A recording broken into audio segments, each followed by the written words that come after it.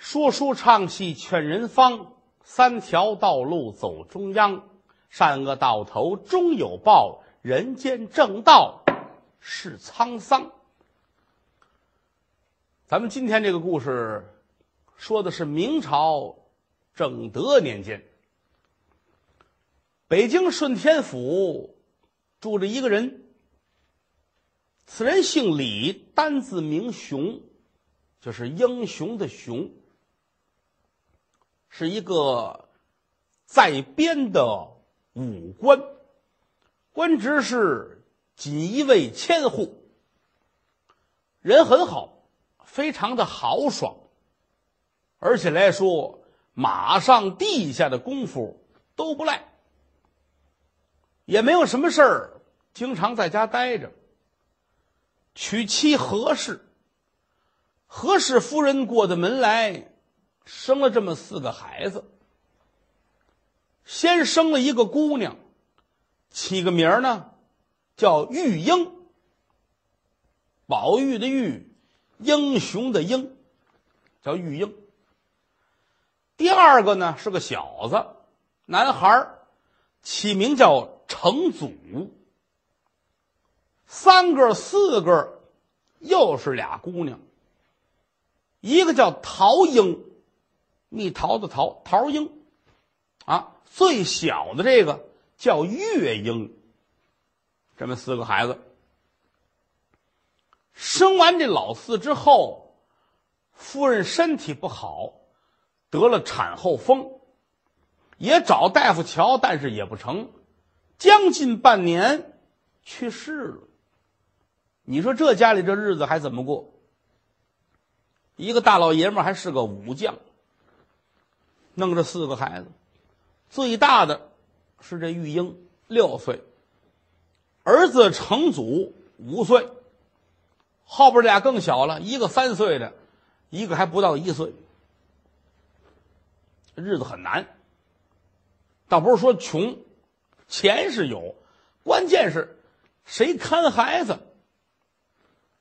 放出风去了，准备续弦，再找一个。发展的媒婆多了，啊，说这个谁呀？啊，这可了不得，锦衣卫千户。李雄李的人打算续弦，嚯，那都愿意给。为什么呢？跟了人家吃香的喝辣的，家里有钱，进门是官太太。最后选了这么一家谁呀？哎，这个姑娘的哥哥叫焦荣，在衙门里边跑腿儿啊，很聪明。听说这么个消息，说我妹子可不赖。这一说，李雄还挺乐意，好吧，就成了。定了一个时间，安排花红小轿，把焦氏就抬过门来了。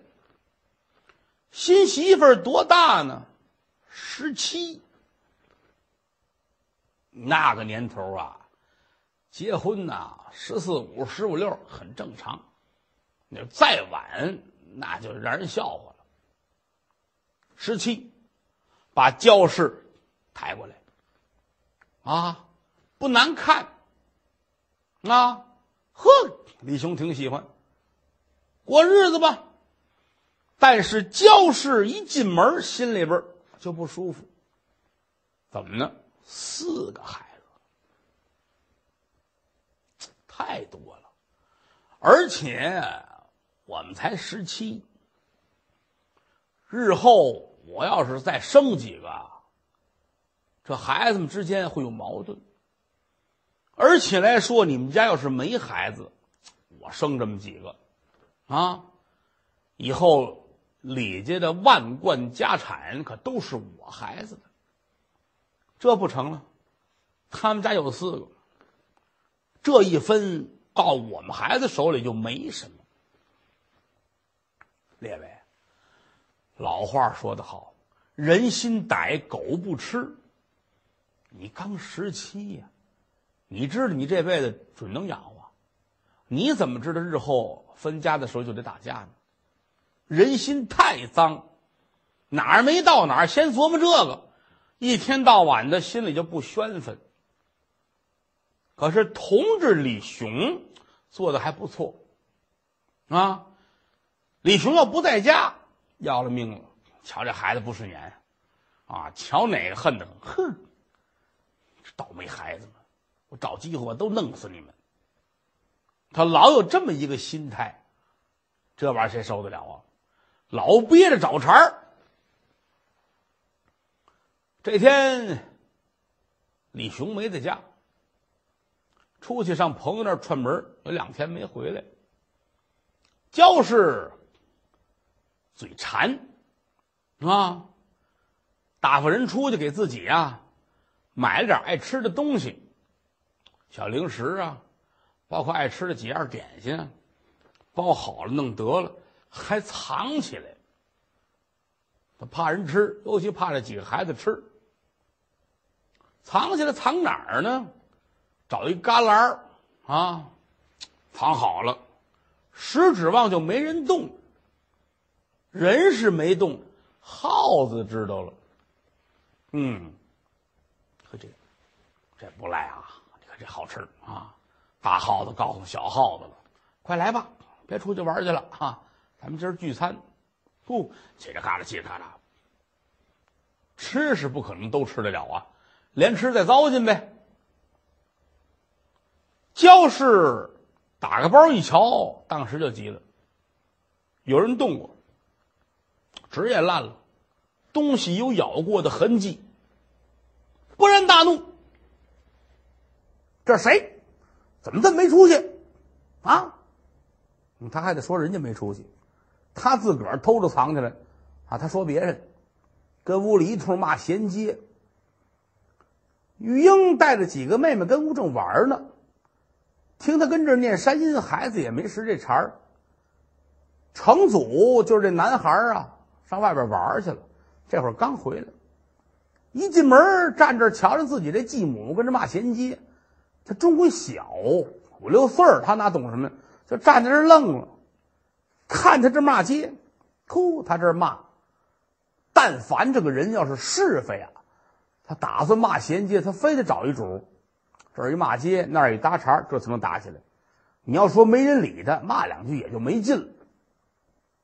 这喊了半天，自个儿挺生气，心说怎么一个观众都没有啊？嗯，正懊恼了，一回头，孩子进来了，小孩懂什么？站那看着，他这火腾腾腾就上来了，就是你，什么玩意儿？就是我呀！哼，小兔崽子，没羞没臊。臭不要脸的！孩子一听这哪儿？您怎么骂人呢？骂你我还打你呢！走到跟前啪，给孩子一嘴巴，哇就哭了。你还敢哭？我我我撕烂了你的嘴！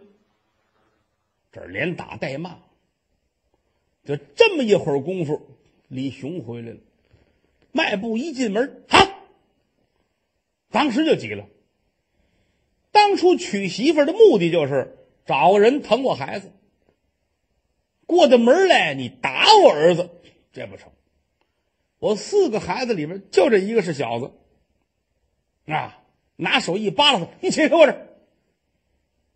他是武将，练武的人，那个十七八一个富的人家，哪抗得住啊？这一推他，他他当一下子。摔在墙角，哎呀，好，我可活不了了！哈哈哈你们全家人欺负我呀！哎呦，活不了喽！这一撒泼，玉英带着俩妹妹也跑出来了，站那看，也不敢说话，也不知怎么回事再瞧自个儿爹，气得直哆嗦。你干嘛你啊？你要疯啊！娶你来是帮着我照看孩子，谁让你虐待他们了？你打他干嘛呀？哎呦，打他！我杀了他的心都有啊！你看看，两口子抬杠拌嘴，就怕呛火。你越呛，那火越大。而且来说，这骂人没好嘴，打架没好腿，对着一开卷没有好话。但凡有点理智，那不打不起来了吗？三说五说，这儿急了，走到跟前，啪，啪给焦氏一嘴巴。您算呢？他是练武之人，那拳头这么大个儿啊，那个那脸是这么大个儿，跟桃似的，啪，走起来了，丫头活动，我去好个家伙，这撕巴起来了，嚯，家里边孩子也哭，大人也闹，连管家在干活的也不敢劝，你主人打起来谁敢劝呢？是不是？李兄一回头，你们谁？跑到衙门口，把他哥哥叫来。哎哎哎哎！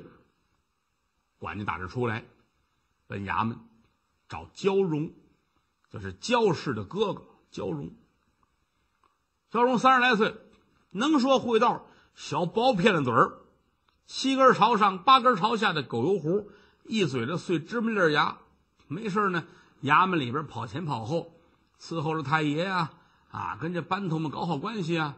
反正仗着这点背景，欺负老百姓，占个便宜，就干这个。这会儿正忙着呢，有人说了：“找您，谁呀？”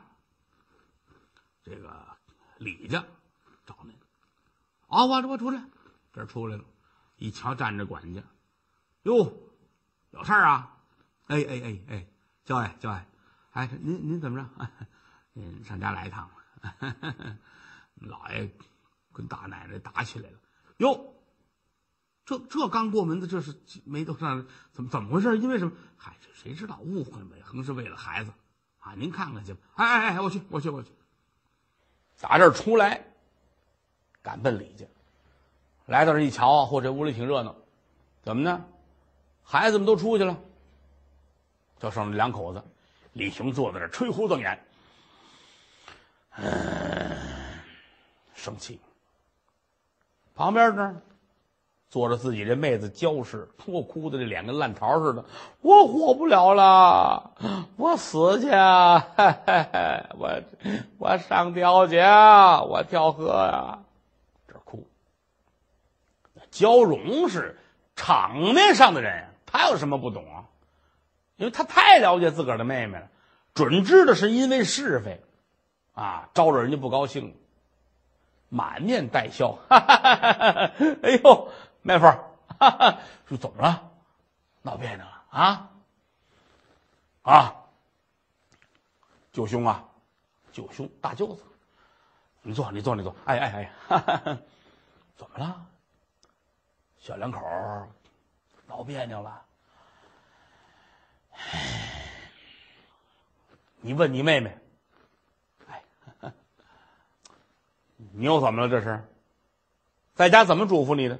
嗯，不是小孩了，有个分寸呢，那处处得懂事儿。今儿又怎么了？惹我妹夫生气？哎呦，打我！刚才他还骂我呢。你要是说错了话，那就该打你们是。哎呦，你也这么说，我活不了了。你别闹，别闹，别闹！妹夫，到底怎么了？舅兄，家里的情况你是知道。我这孩子多，四个孩子。前面这媳妇死了，扔下这堆孩子我没辙。为什么要续弦？就是为了有人能照顾。今天我回来，他打成祖，那是我的心头肉。孩子有什么事你说，我都舍不得打他，啊！我娶你过门，不是让你欺负我儿子来的。什么话咱们都能搁桌面说，孩子不对，咱们说他。你这上来就打，这算怎么回事？嗯嗯嗯嗯嗯嗯嗯。焦荣心里明白了，准知道是自己妹妹的不对。怎么了？亲哥俩在娘家时候就是非的都不行了啊！一听就知道啊！哦嗨，得嘞，我的妹夫，我呀替他给您赔礼道歉，在家惯的不像样。您这样，您赏个脸，我把他接走，接他回家住上个十天八天的，好好的教训教训他。哎，咱们。给一机会啊，哈 哈过过没事了，您看您消了气儿，再把他接回来啊。你去归置东西去。哎，我走。焦氏上后边去收拾自己的衣服和应用之物。这出来，焦荣是满面带笑，妹夫，咱可说好了，咱是一家人，家里没有这个马勺不碰锅沿的。何况你们两口子不叫事儿啊，消消气儿，消消气儿，过些日子啊，把他送回来。告辞，带着自己妹妹，转身就回去了。李雄一琢磨，得了，反正两口子打架也是常有的事儿。回来又问了问孩子是怎么回事儿程祖把事一说，这又安慰了孩子两句啊，行了，行了，行了，行了，也不是什么大事啊。不许记在心里边，就得了。话分两头，焦荣把妹妹就接回家了，往客厅这一坐。妹子，你这个没有，你刚过门你就打人孩子，你要干嘛呀？哼！我告诉你，我打他，我这还便宜呢。我说别人弄死他，我告诉你们我瞧什么眼中钉，肉中刺。我瞧他们在我跟前这么晃悠，我就恨得很。我就，我理解你，你说的也对啊。有这四个小崽儿，以后分家产，包括很多事情都不方便。但有一节，你现在这样是错误的。你要想除了他们，你得对他好。我疯了，我还得对他好。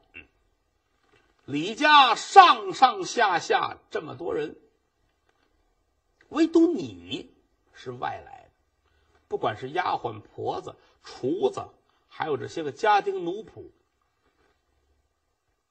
人家是一家人，都瞧着你怎么样做？那么你就应该做个样子给他们看。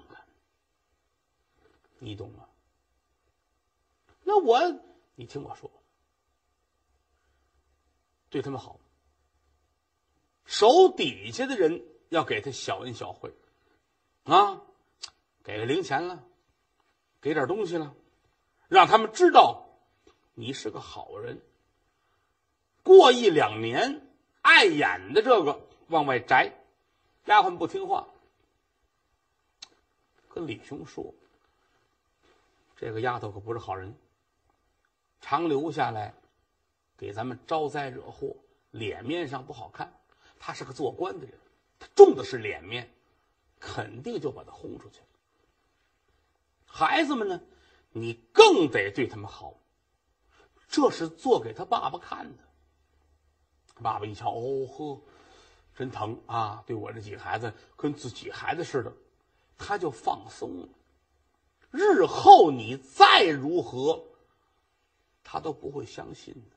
而且一年半载，你要再生下孩子来，那就算更没问题了，对不对？哪有你这一过门就瞪眼打人去的？妹妹，你失策了。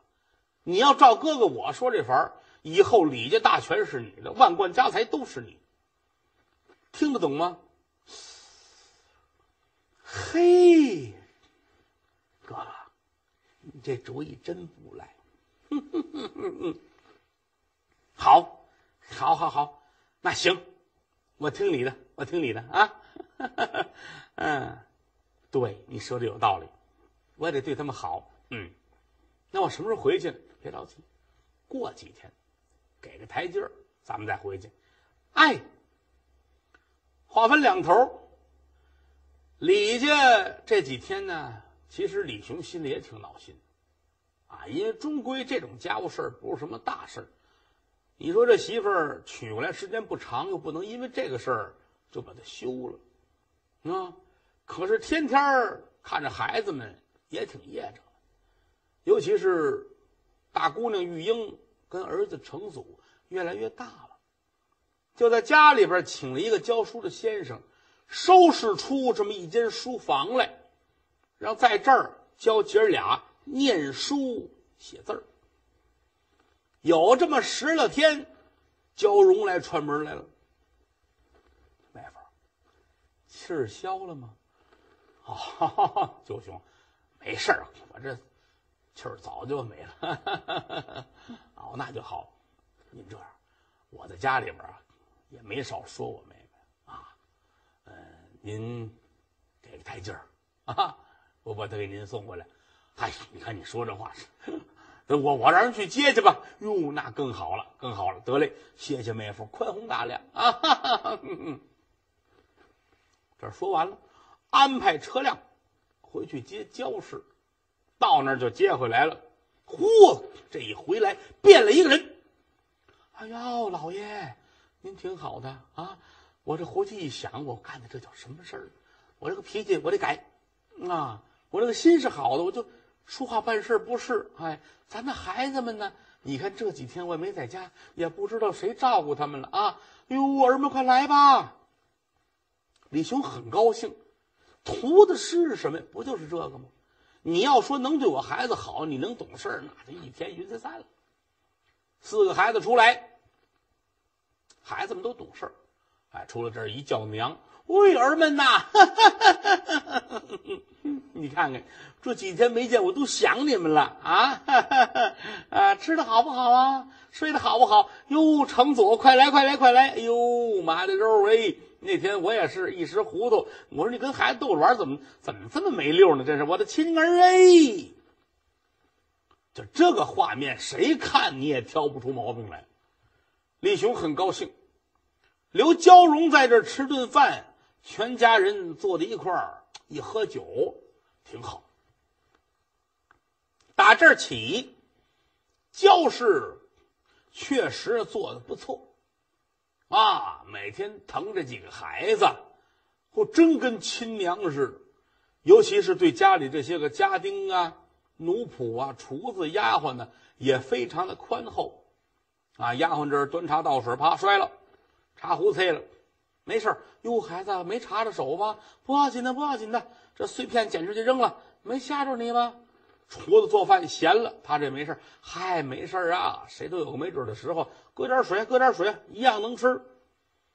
呵，家里边上上下下一提这位奶奶，都挑大拇哥。好，孩子们也说，嗯，这娘不赖，挺疼我们的。消息传到李雄的耳朵里，那是非常的高兴。好，好，好，好！你看这样，这这日子过着，他就有意思了啊！看来我娶那媳妇儿娶对了。不过呀，我要感谢我的大舅子焦荣。你说那些日子看着多蛮横，接回去之后再回来，变了一个人。看来人的善恶只在一转念，挺好，挺痛快，心里边高兴。一晃一年多，不久呢，焦氏也生了一个儿子，起个名儿叫雅奴。什么叫雅奴呢？哎，简单说，这个一解释啊，就是不如奴才。为什么说给孩子起这么一个名儿？过去的人都是，啊，给孩子起个贱名儿，好养活。说这孩子起名。叫二狗啊，三蛋子叫个这个名字，他这名儿啊不好，很贱，但是孩子能够富贵长生。啊，今天焦氏给自己的儿起名叫雅奴，也是这个意思啊，雅如奴才一般，是这个意思。嗯，李雄是非常的高兴。哎呀，我家这又是添了一个小子，哈哈哈哈心里高兴。而且自打有了自己的孩子。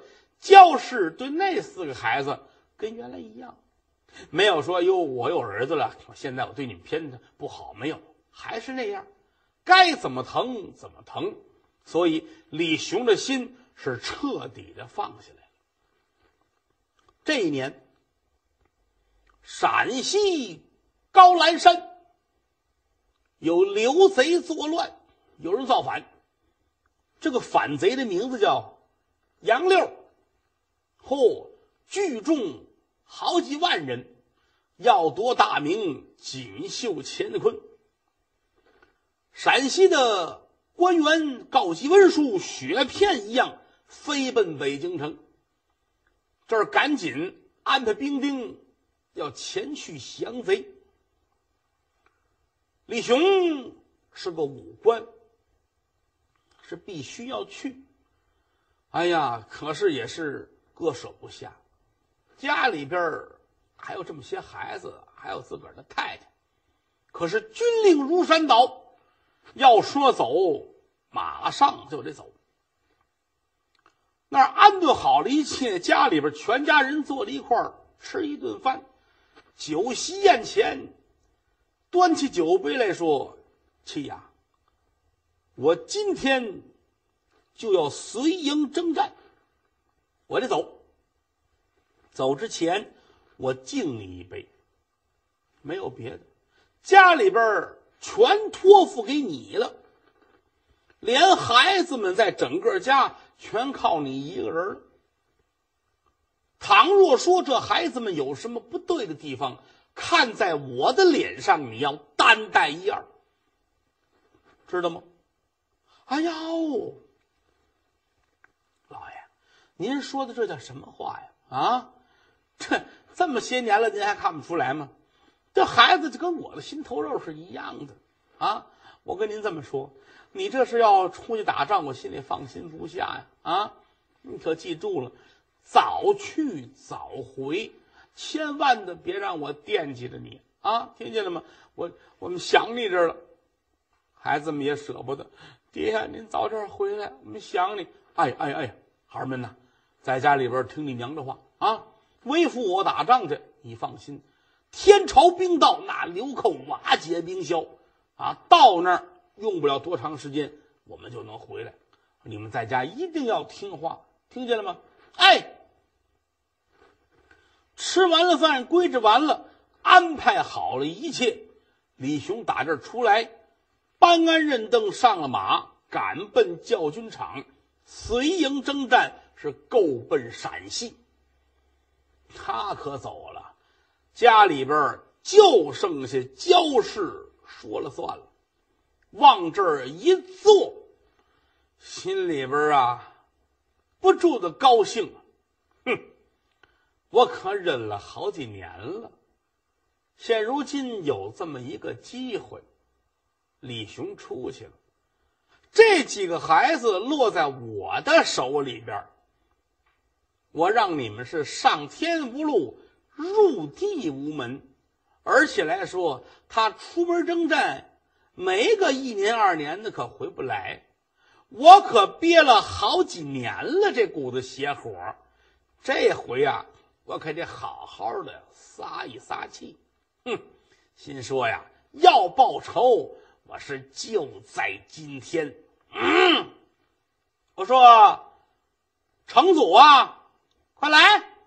喊程祖，有打外边大少爷程祖进来了。娘，您叫我？嗯，我叫你。你爹打仗去了，家里的事儿可就为娘我说了算。今天为娘我要给你立一立规矩。金谷奇观，接演前文。上文书讲到，锦衣卫的千户李雄随营征战，勾奔陕西，家中就剩了焦氏带着五个孩子。焦氏心说：“从今天开始，家中就是我说了算，我必须要立一立威。”成祖啊，把儿子叫过来了。娘，嗯，孩儿啊，你爹随营征战去陕西，不知道什么时候回来。咱们家里边你是顶天立地的男儿汉，可是我儿现在你还小，没办法，为娘我支撑这个家业。你从今天开始，事事你要谨慎。听见了吗？不要给为娘招惹是非。倘有一差二错，可别怪我不客气。日后见了你父，咱们还得倒这笔老账。是，娘您放心，我听话，我不惹事儿。嗯，那就好。打这天开始，焦氏就不会乐了。怎么简短结束？两年的光景就过去了。这一天，焦荣所在的衙门里边，接到了很多的公文。那说这个陕西打仗啊，挺好啊，已然是大获全胜，不错。皇上见喜，犒赏三军，担责一见，锦衣卫千户李雄。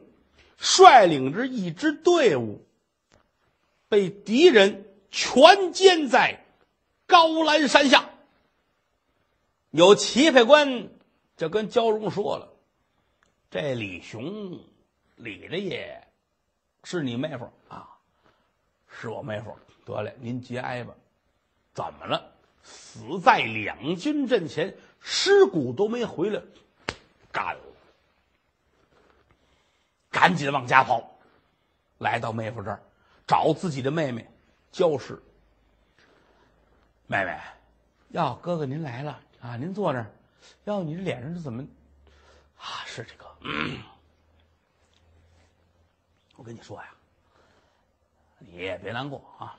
我打衙门口听这么一信儿，说这个我妹夫死在两军阵了。啊！哎呦喂，老天爷呀！你这怎么话说的呢？你先别看，别闹，我再去扫听一下，看看到底是不是真的。哎呦，你瞧瞧，这怎么怎么死在那儿了呢？哥哥，你给我问问，哎，问问。这儿回来一通，仔细的这一问，最后确认了是死了，死在了高兰山下，大办白事呗，大鹏。和尚老道请来之后，一念经，超度亡魂，全家大小穿的跟白人似的，办这层白事简短结说，全都料理完了。闲着没事儿，焦氏和焦荣哥俩坐一块儿商量这个事儿。妹子，怎么着，哥哥？其实也是个好事死就死了吧，那怕什么呀？是不是？现如今你是焦根正派的大奶奶，又何况你生下孩子来了，哑奴也不小了。以后我问问衙门口啊，咱们可以办一个世袭罔替，是不是？你还能吃一份俸禄。唯一的，就是这四个孩子。对呀，哥，现如今李雄死了，这四个孩子，我能下手了吧？你这你这个人呢？行，现在也没什么事了。你要憋着把他们除了就除了呗。你有什么想法吗？我没想好，我就说，比如说，我要说说他们偷东西，然后把他们打死，那不成。害人是要技巧的，啊，你这样办不妥。是，我知道，哥哥，你教给我呗。打小咱们。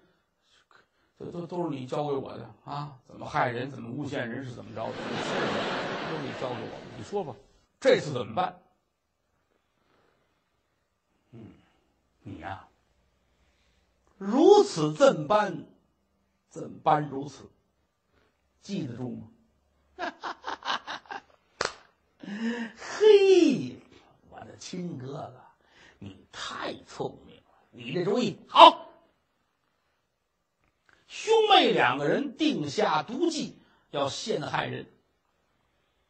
转过天来，坐在厅堂这儿，教士吩咐一声：“来呀，把程祖给我叫来。”孩子进来了，毕恭毕敬。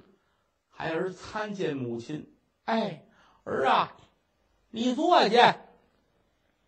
这一说坐下，程祖都没想到，怎么呢？平时家里规矩大着，跟娘说话站着不行。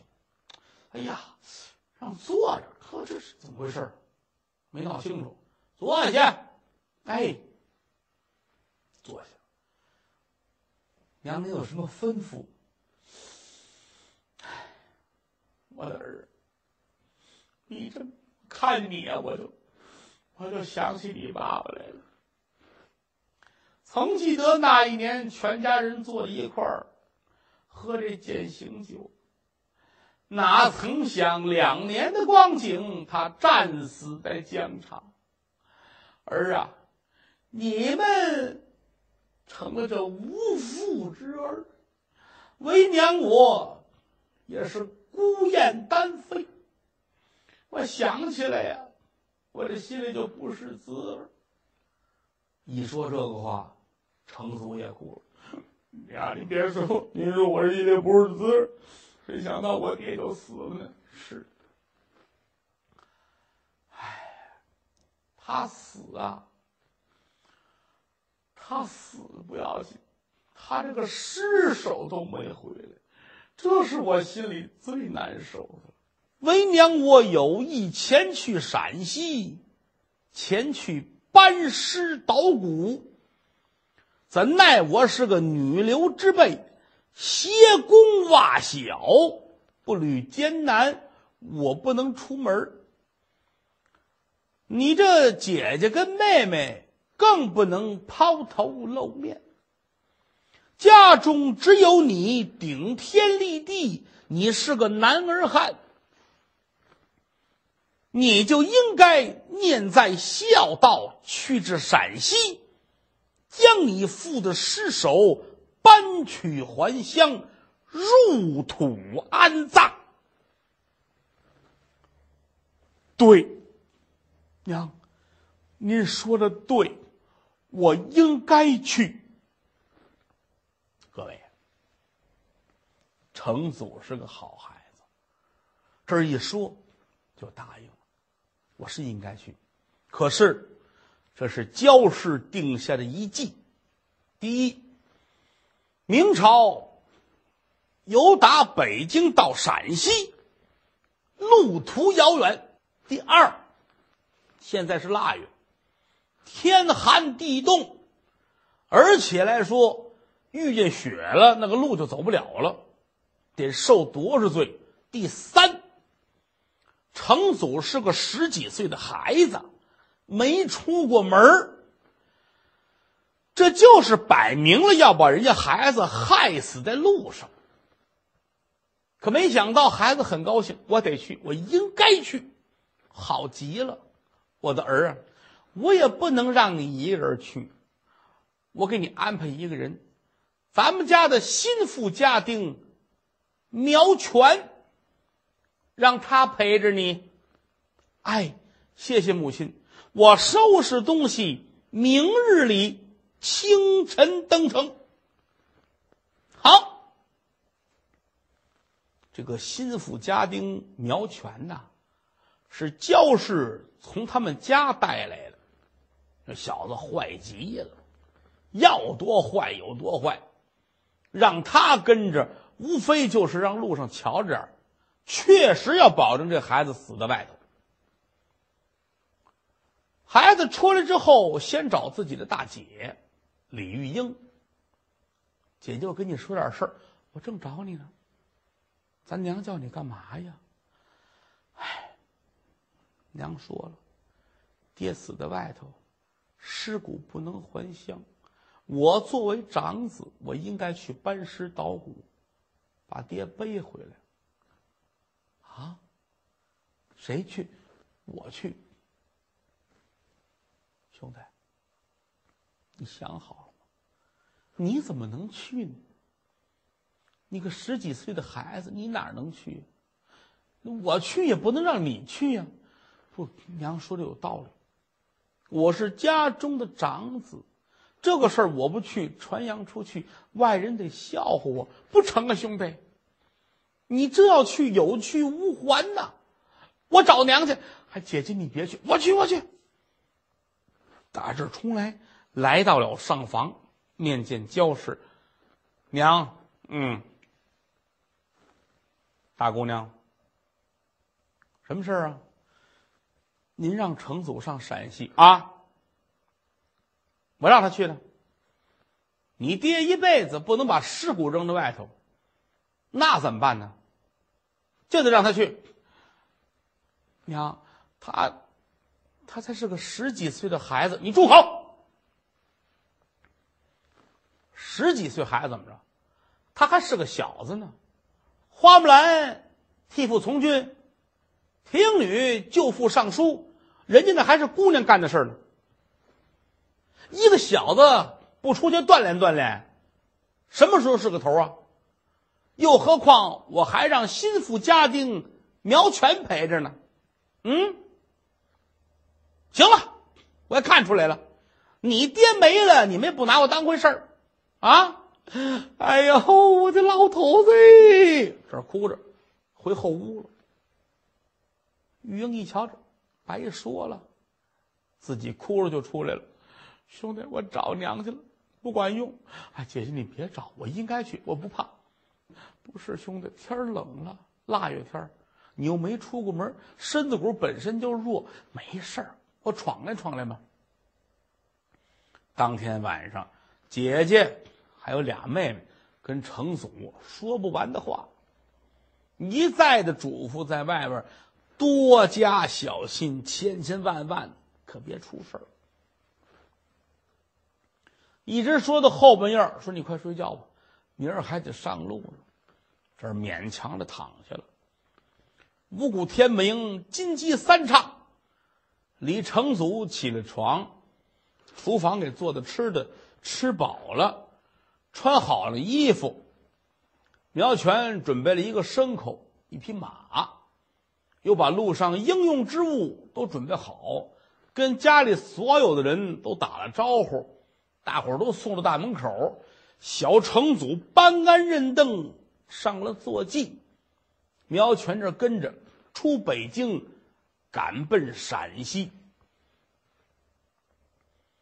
刚出北京城没多远儿，闹天气了，天降大雪。哎呀，成祖哪儿受过这个罪呀？你说继母再不好，他是在家里边说两句，乖的两下。最起码吃啊、穿的、住，这个没问题。这个一出门，冰天雪地，风里来雨里去，这个最受的非常的难。可是也得坚持着往前走啊！啊，从来没受过这个，走了没两天就感冒了。怎么呢？苗全发坏啊！这屋里睡得着着的孩子。给叫起来，去去去，赶紧，咱得快走。现在走大半夜的，哎呀，夜道清静，孩子睡得迷迷糊糊，脑子挺热乎。这儿出来穿衣裳，骑着马往前走，啊，一身的汗，拿风一拍，感冒了。走两天，哎呀，不见好，不见好，住住店，啊，住店里边住一天，也不给找大夫瞧，也不管。说差不多，又出来吧，还往前走。最受大了，而且有的地方雪下的特别大，都漫过了马蹄儿了，这马走了都费劲。一个趔趄，把李成祖打马上就扔下来了。平常人感冒没个六天七天都好不了，何况这个小孩抵抗力非常的弱，就这感冒好两天坏两天，好两天坏两天。越来越重，苗全呢就不理这茬儿，每天还必须的，啊，得有多少里路，一心一意的想让这孩子死在外边。简短结说，一个月的光景，李成祖坐在马上，可都坐不住，眼睛都瞧不真着了。啊，由打感冒转到发烧，啊，而且是越来越严重。孩子浑身呐这个烫，也吃不下东西，嘴角都是燎泡。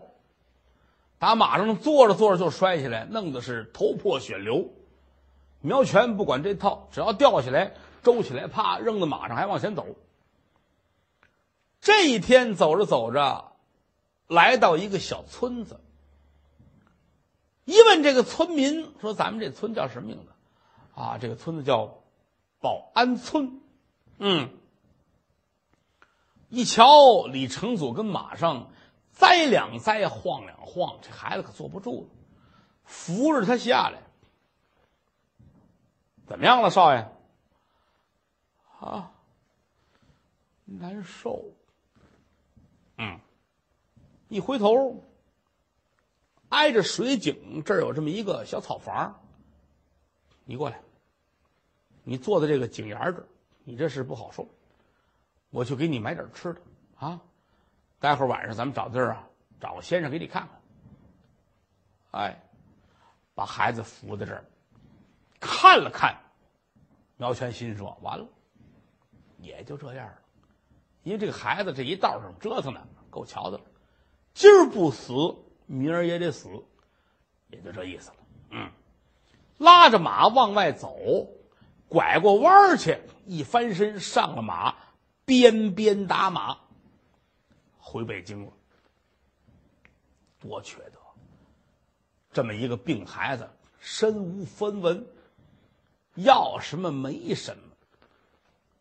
最早出来还穿着挺暖和大棉袄什么的，前两天发烧，苗全告诉他不能穿棉的，脱。一个重感冒发烧的孩子，穿着单衣单裤，骑着马在马上这么跑，那没个不死啊！这会儿坐住了之后，坐在这个地上，凉风一嗖，浑身都哆嗦。哎。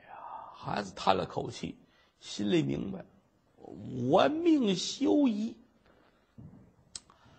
哎呀，坐这等死。斜对门这草房啊，门开了，出了一老太太，这个年纪得六十来岁慈眉善目，坐在门口这儿摘菜，啊。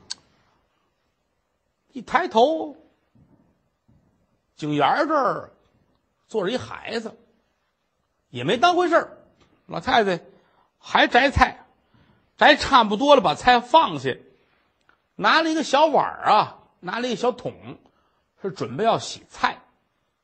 往这一放，一抬头一看，这孩子直晃悠。哟，你怎么了？这是？说着话，放下东西就往前来。来到跟前儿，程祖这已经坐不住了，往下一栽，老太太一伸手，砰，给搂住了。嗯，孩儿啊，你是谁？你怎么了？这是？啊，哎呀，这孩子拿手一摸，怎么这么烫？快进来，快进来，进来！扶着他到自己的屋，屋里边看得出来挺穷。啊，有这么一个小桌子，四个小凳子有这么一个床，啊，给扶到床上，让孩子躺那儿，一摸呀，这身上滚烫滚烫，坏了，这可不行，找大夫吧。老太太翻箱倒柜从犄角旮旯找出点钱来，啊，赶紧跑出去找大夫，赶等快帮黑了。大夫跟这来了，这一号脉，嚯！这孩子，您家什么人？老太太说我不认识，就门口我捡这么一孩子，别别给治了，真的，这孩子这病太重了，够呛，别介呀，别介呀，我佛慈悲呀，您您您救救他吧啊！万一要是能救活呢？哎呀，这样吧，反正。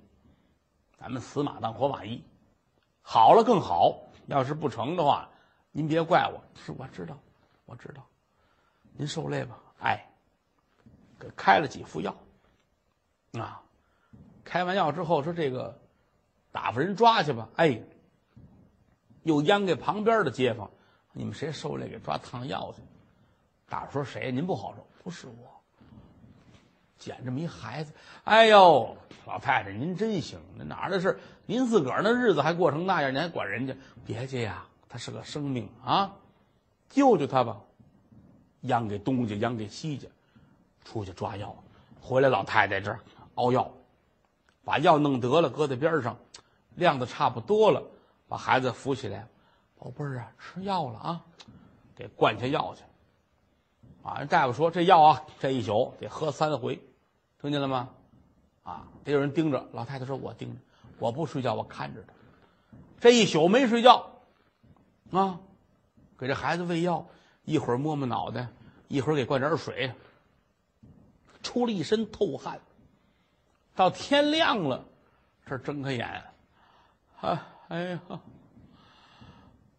瞧瞧这屋里边，又想想昨天。”昨天坐在水井旁边那儿，我怎么上这儿来了？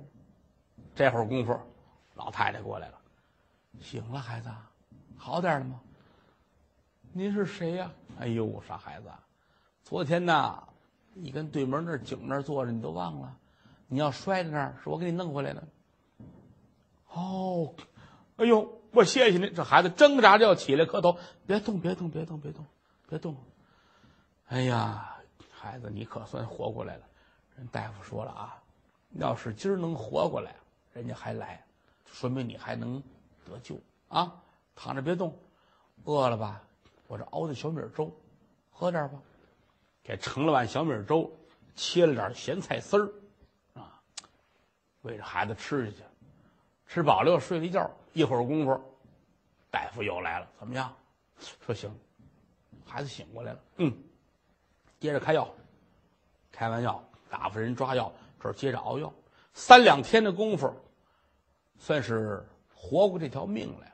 但是大夫说了，这个没仨月俩月去不了根儿，啊，得慢慢来。老太太说：“那就住在这儿吧，住在这儿吧，我伺候着吧。”成祖感动坏了，我这怎么谢您呢？我与您萍水相逢。打扰您这么些日子，而且您家里也不富裕。嗨，孩子，天底下谁跟谁有仇啊？是不是？见死就得救，姓什么叫什么呀？这些日子也没工夫问你。哎，把自个儿事儿这么一说，到最后说到苗全这儿了，跟我一块儿出来，啊，到了这儿我不知他干嘛去。他说给我啊找大夫。老太太说他找什么大夫？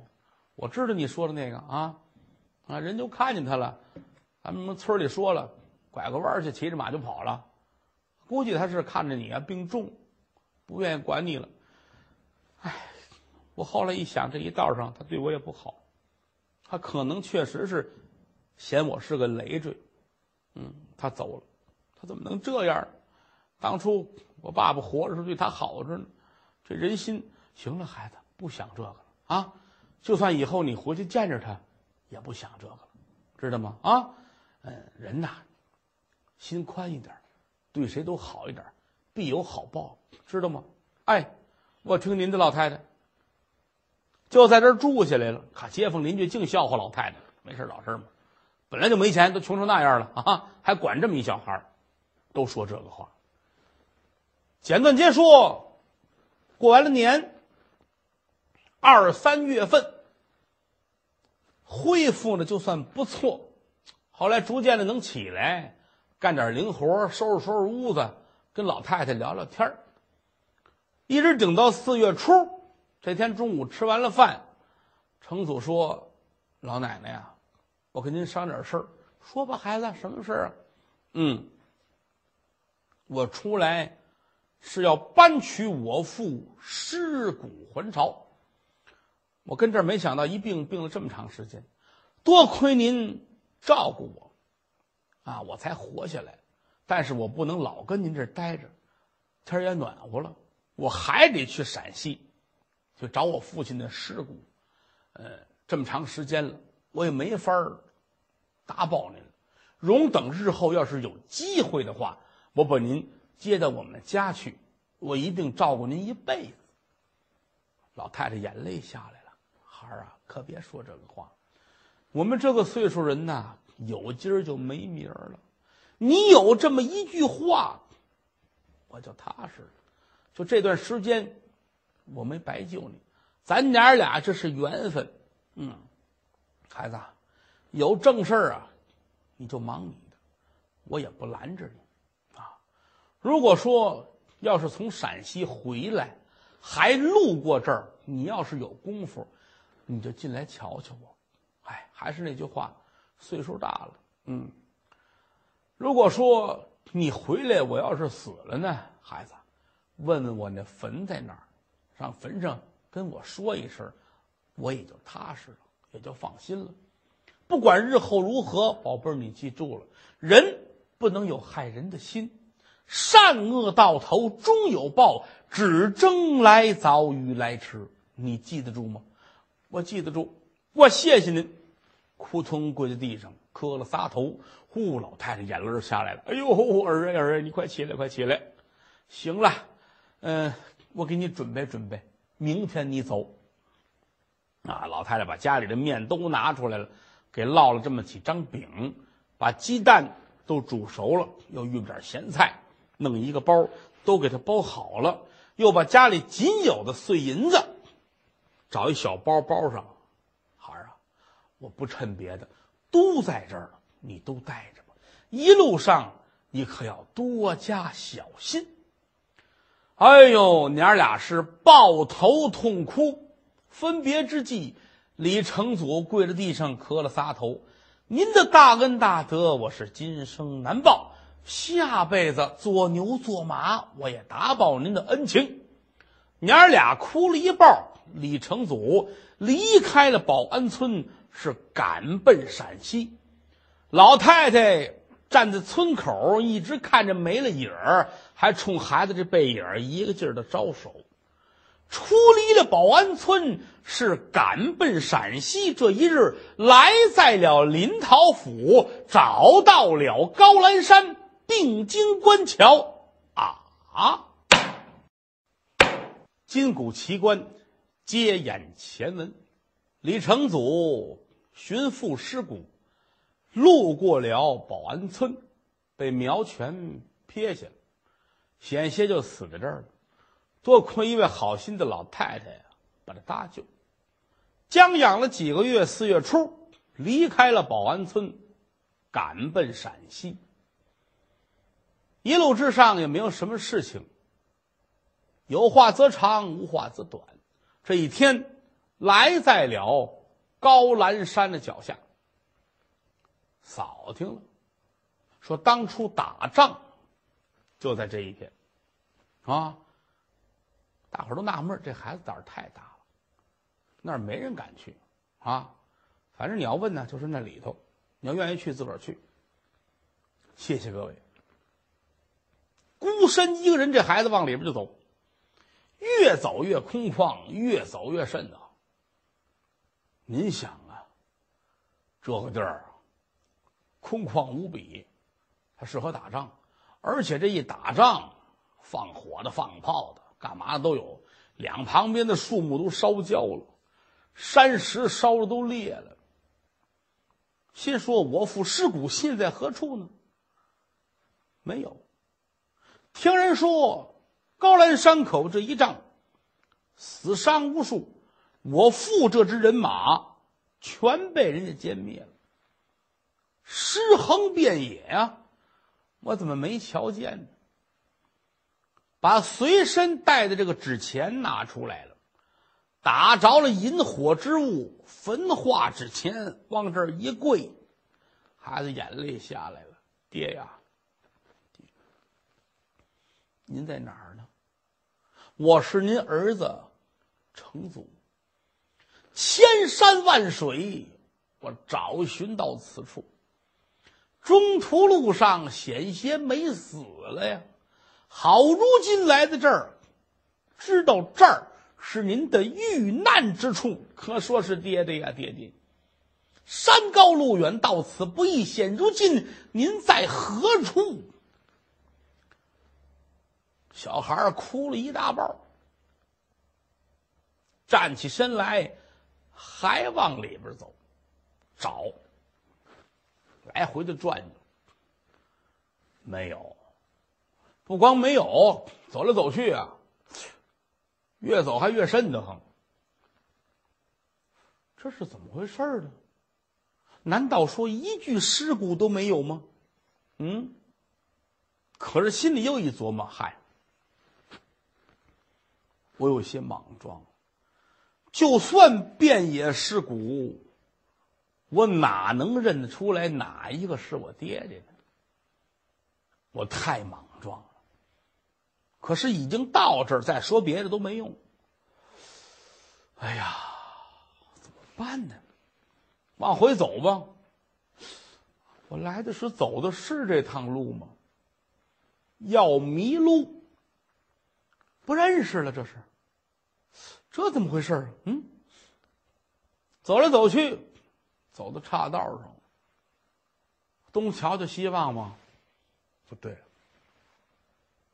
我不是从这儿来的，坏了，我这怎么办呢？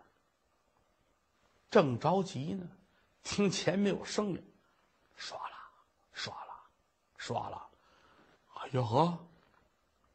有老虎吧？嗯，这真来个老虎，我哪受了？毛骨悚然，汗毛孔都立起来了。我的天哪！我躲躲吧。往这边一走，就听这边草里边哗啦哗啦哗啦刷刷刷刷刷，像是脚步声音。坏了，闹鬼呀！这是，这怎么回事？这是孩子吓坏了，冷汗都下来了啊！猛然间，面前的荒草给拨了开了，噌，出现一个人。哎呀，吓死我了！把这个人也吓一跳。我好家伙，有人呢！定睛一看，来的是一个和尚，三十来岁，五十三粗。小孩儿，你可吓我一跳！大师傅，你还吓我一跳！你干嘛呢？你是？我迷路了。嗨呀，这是哪儿的孩子？怎么还上这儿玩了呀？你就跟我走吧，跟我走吧，跟我走出去再说。哎，谢谢您。心下稍安，心说好歹有一认识道的，而且看说话看这意思，这和尚不像坏人。跟他走吧。一前一后，天可就逐渐黑下来了。走了这么十几里的山路，前边不远处有一个小茅庵。两个人来到里边，进来把门关好了，把火点着，灯弄亮了。你看这屋里很简单，和尚这儿啊点火做饭，熬了点粥啊，煮点干粮，弄点咸菜，吃吧，孩子。两个人这儿一吃，吃完之后一收拾，坐着壶热水，俩人聊天这孩子不像这儿的人呐，你哪儿的？哦，我打京城来。是啊。哎呀，打京城来，和你看看，那你跑出来干嘛呀？有亲戚？没有亲戚。没亲戚，你上这儿来是为什么呀？我我找我爸爸来了。哦，你爸爸在这做买卖？不是，我爸爸死在这儿，我来把他的死尸搬回去。爸爸死在这儿了，怎么死的？打仗死的。爸爸打仗死这儿了。你爸爸谁呀？锦衣卫千户李雄。弥陀佛！说了一声弥陀佛，和尚站起来了，眼圈红了，眼泪都快下来了。你，你是李老爷的儿子？是我。你你是谁呀？哎呦，哎呀，小兄弟，快坐，快坐，快坐，快坐！哎呦，老天爷饿不死瞎家巧哎，坐那，坐那，坐那，坐下了。哎，这擦擦眼泪。哎呀，兄弟，哎，想不到的事儿，这是苍天有眼。我不是和尚。我是你爸爸手下的亲兵护卫，我姓曾，我叫曾老虎，跟着你父亲征战到此处。我们呢，打仗赢了，但没想到是敌人诱导我们来到这里边。来到这儿，孤军深入，四面里杀声震天。他们都出来，把我们全呼在里边了。当时我一直守着你父亲，啊，保着他往外突围，一直逃出了山口。但是啊，山上不知道是谁射来一支冷箭，把你父亲呢一箭射死了，打马上摔下来，大批的敌军就快过来了。我一想，这怎么办呢？旁边正好有这么一堵矮墙，我是推倒了矮墙，把你父亲的死尸算是埋上。敌军围困，我无路可去，顺着山路我就逃出来了。剩下的人马可全都死在这儿了。唉，逃出来之后，山脚下有这么一个和尚庙。老方丈把我救了，劝我：“你看看，红尘之中有何留恋？”劝我出家。我一想，打仗打成这样也败了，一咬牙把头剃了，我就当了和尚了。半年后，老方丈病死了，他那儿的俩徒弟容不下我，把我赶出来，没地儿去。这儿有这么一个小茅庵，我就住在这儿凑合着。老天爷睁眼，让我遇见了你呀，兄弟兄弟，眼泪哗哗的。程祖也哭了。哎呀，曾大哥，你说这想不到的事情啊，在这儿能碰见您，还是我父英灵为民，给我指引了迷途。是啊是啊，我问您一下，既然当初在这尸横遍野，怎么今天我来？我就没看见有死尸呢。嗨，咱们人都死这儿了。后来把敌人全歼了之后啊，哎，主帅说了，这么多的尸骨不可能搬回北京去，就在这儿全都架起火来焚化，请了和尚老道跟这儿超度，所以所有的尸骨全都没了。你找到哪儿也找不着。你得亏这是遇见了我。明天吧，明天我带着你，咱们去啊。把你父的尸骨啊搬请回去，两年了，我估计呀，哎，也都剩骨头了。得了，今天碰见你，我的心愿了了。俩人坐这儿聊天越说越亲，越说越近。晚上早的班班的呢，睡了觉了。次日清晨起来，吃完了饭，收拾好了，和尚拿出这么一个竹笼子。又把应用之物都弄得了，拿着铁锹，兄弟，跟我走，搬请李老爷的死尸。顺着山道一前一后就来了，拐弯抹角，来到一山弯这儿，啊，一瞧啊，这儿有这么一堆砖和土，好像围成一个小土包似的。当初啊，这儿有这么间小房。早就没人住了，后来啊，什么房梁啊、木料啊，就让人给拆了，就剩这么几面墙跟这戳着。那天我也是急了，把这房推躺下了，把这砖呢，把李老爷盖上，又铲了点土啊，算是简单的把人埋上。你等着啊，我把他请出来，拿起手中的铁锹，嘁哩咔嚓，嘁哩咔嚓，一会儿的功夫敞开了，底下露出来。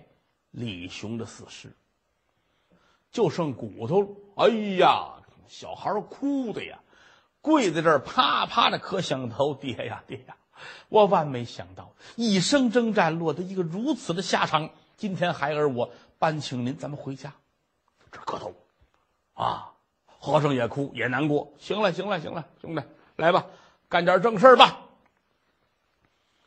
把这个竹篮子放好了，盖打开了，从脚底下拿着骨头，一块一块都放好了啊。最后把头骨放在锦上边，有一块红布。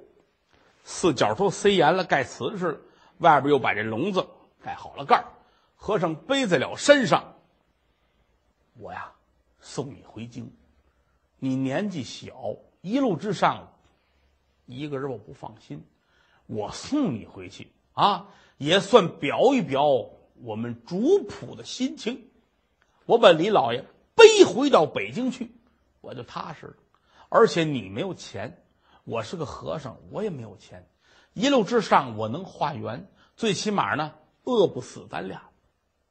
小孩感动坏了，我谢谢您，嗨，别谢我了啊，我这是应该做的。由打这儿出来，两个人往北京走，路上走来走去，这一天小孩说了：“大哥呀，这个地方叫保安村，我来的时候在这住了几个月。”一个好心的老太太把我救的，要不然我早就死了。我又回来了，我一定得看看他老人家，因为走的时候我说过，我得看看他。那来吧，两个人进了村儿，来到门口这儿，一瞧啊，门锁着。哟，老太太没在家。旁边邻居出来了，哎呦，呵，这小孩回来了哈，认识您住了三四个月了嘛？啊，是大叔。嗯，您挺好，我挺好的啊。我老太太呢？嗨，你还问老太太？你走了三天就死了啊？死了啊？也挺好，一点罪都没受。吃完了中午饭啊，说坐在门口晒会儿太阳。刚坐在那还聊天呢，一会儿功夫低头不说话，人就死了，挺好。修来的福没受罪，小孩哇就哭了。呵，想不到啊啊！我这还说老太太跟我享几千福呢，我还要报答人家呢，怎么就死了呢？大叔，老太太坟在哪儿？我得去。哎，你是得去。你走了之后啊，呃，转过天还说了啊，说这有一天我要是没了，你们受累给我埋了。哎，那个孩子来跟他说一声，我坟在哪儿呢？让他瞧瞧我去。好，我带你去吧。来到村边这一瞧啊，这有一个新坟，土还没干呢。呼！孩子趴在这儿，这通哭啊！哎呦，老太太哎，您怎么就没了？我的救命的恩人，买的烧纸焚化，痛哭了一遍。大伙儿呢，都拦着劝着呗。哭完之后站起来，和尚说：“得了，少爷，难过说难过的，咱还有正事儿呢，咱走吧。”出离了保安村，赶奔北京城。一路之上啊，这和尚是受了罪了，怎么呢？他老得去化缘去，沿街教化，要不然不够吃的。有的时候要的多一点，有的时候就少一些。遇见了好心眼的人，善男信女呢，哎，愿意多花点，多给点。就有那抠门的，舍不得。凡是今天说要吃的少，那只好是让小孩多吃。小孩也不落忍，就让这和尚吃。俩人净打过，但是感情是非常好。一路无书，这一天来在了北京城外。呃，街边上有一个露天的小茶棚，天气也热了，外边能坐人了。两个人往这一坐，伙计过来了：“二位，嚯，还大师傅，这个吃点什么，喝点什么？”啊，和尚说：“你啊，拿一壶酒，四个小菜儿啊，再来一盘馒头。”哎，功夫不大，东西都齐了。和尚拿起酒杯来，倒了一杯酒，把李老爷的尸骨摆在桌子上，端起杯来，洒在了面前，眼泪下来了。李老爷，唉，咱们主仆一场，我一直做您的亲兵护卫，我没尽到责，让您战死疆场，幸喜得。小少爷千里迢迢前来办事，您的尸骨不至于抛在异地他乡。现如今来在了北京城外，我只能送您到这儿了，因为我终归算是一个逃兵。北京城中熟人众多，倘若被他们发现，多有不便。到了这儿了，您恕我不能再送您了。哎，我呀，给您敬杯酒吧，把这酒洒了，往这一坐，把这个尸骨放在边上，告诉孩子吃，赶快吃，吃的饱饱的。我去给你啊，雇一匹牲口，待会儿你回家。小孩说：“你真不跟我走啊？啊，你都到这儿了，回家看看去。”孩子，你不知道，我现在已经是和尚了，跳出三界外，不在五行中。我唯一挂念的就是你父亲的尸首。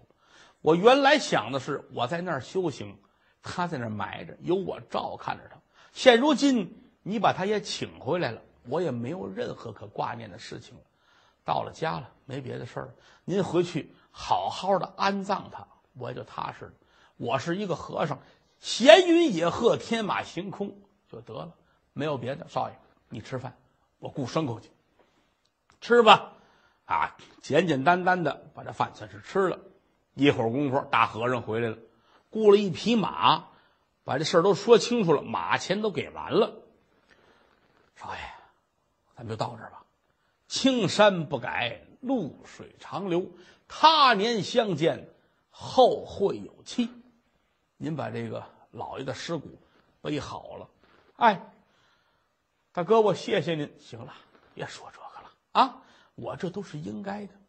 您回家吧，扶着小孩上了马，告诉赶脚的：“你跟着稳当点，别把他摔下来。”一直看着李成祖骑着马走远了。和尚这才转身是扬长而去。李成祖出了门到现在是大半年的光景，家里边很惦念，但是也不知道怎么回事中间苗全跑回来了，那说这个出点事儿啊，这个半截啊，小少爷骑着马不听话丢了。你看我也没辙，我没辙，我这不自个儿就回来了吗？其实是做戏，啊！嚯，玉英这姐儿几个哭坏了，兄弟，不让你去，不让你去啊！你非得去不可。现如今你看看你丢了，你说那么点小，你上哪儿去？你也不认识路，身上带的钱也不多，你那个体格又不济，你说你怎么办呢？姐儿仨这哭，焦氏也不往心里去，怎么呢？老爷都没了。也不必再做戏了。行了，行了，行了啊！哭两声得了。你瞧见了吗？不成才这个玩意儿啊！哼，让他出去搬请你副尸骨，谁想着贪玩，这不就丢了吗？这事儿闹的，行了，拉倒吧。其实心里边是非常的高兴啊。这段时间家里边让他调理的差不多了，奴仆院工凡是不听话、思念旧主的。基本都打发走了，剩下一两个呢，都是他的心腹人，所以整个李家现在是他一手操控。今天焦荣在这个衙门里没什么事儿，出来的早，上这儿来啊，跟妹子俩人喝酒聊天坐在屋里边焦氏说：“哥哥呀，我可是有事儿要麻烦你。呵，你瞧瞧，妹子。”现在您成了啊，掌家拿钥匙大管家了，全家上下您一人说了算，还有什么事儿，麻烦到我们。哟，瞧你说的，这不是李雄死了吗？我可听人说了，说他这死了之后战死疆场啊，必有封赏，而且来说有儿子呢，可以啊世袭啊，现在说就可以顶替，可以世袭。而且这回，成祖死在外头了，哈，剩下就是我们这个雅奴了啊！我们这儿子，他要是能够顶替的话呢，这事岂不是更好吗？您呐，上上下下给我们打点一下，看看该花多少钱，该烦谁办这事儿，您甭客气，这事就托付您了。哎，好好，那个好心胸，嗯，对呀，对呀。如果说我外甥要是世袭了，那可太棒了啊！咱们依旧还是官宦人家，而且有哥哥我在衙门口上下这么跑着，外甥错不了。好，来，我再敬您一杯。呼，哥俩推杯换盏，这喝酒，喝着喝着，酒壶都空了。哟，你看看，酒都没了。苗全，喊苗全，苗全进来，奶奶，什么事儿？打酒去，小子，酒都没，快去啊！这不你大舅来了，快去！哎哎哎哎！苗全出来，往十字街酒店前去打酒。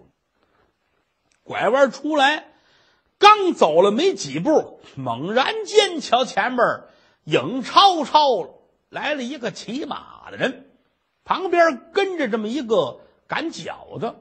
开始没留神，再一瞧啊！骑马的这个人不是旁人，正是小东家李成祖。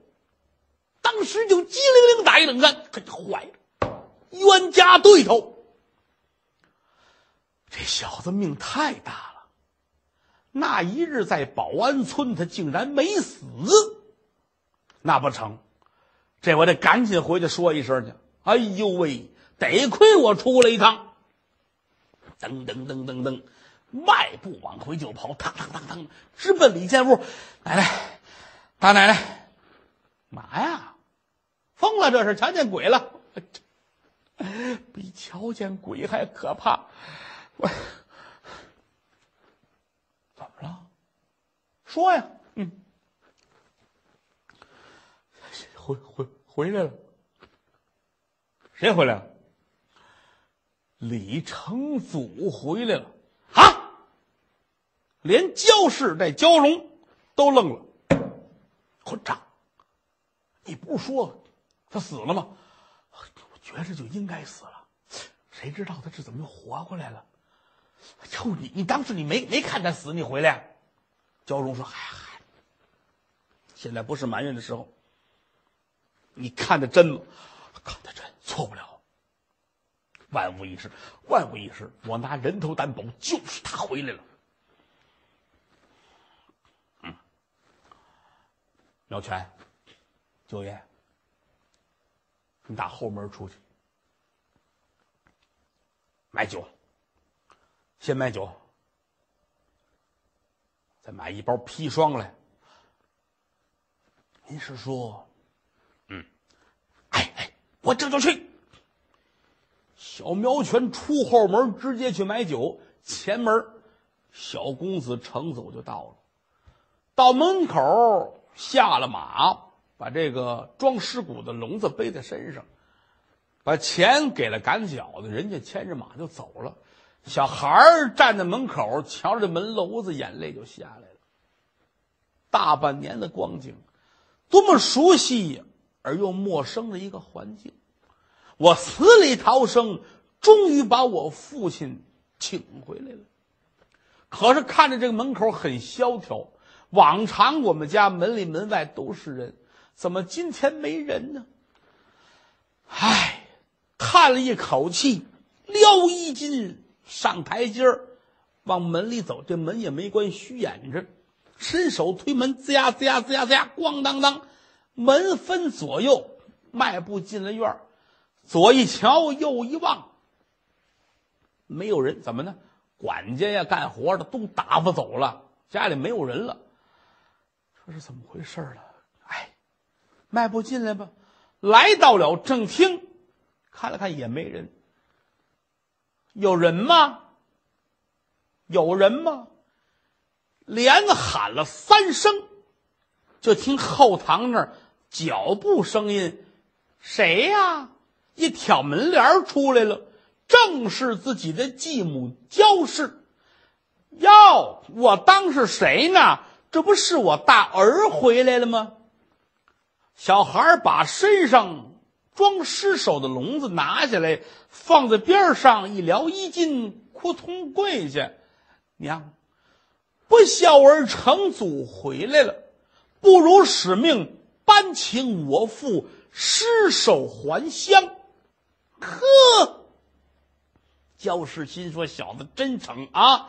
是指望你死在外边了，不料想你能活着回来，而且把你爸爸尸首搬回来了。哈哈哈哈哈孩儿啊，孩儿啊，你是真好，天下大孝子，二十四孝你是头一孝啊！娘啊，我这是应该的。嗯，那就好。正说着呢，有打后边脚步声音，焦荣出来了。谁回来了？谁回来了？舅舅，是我。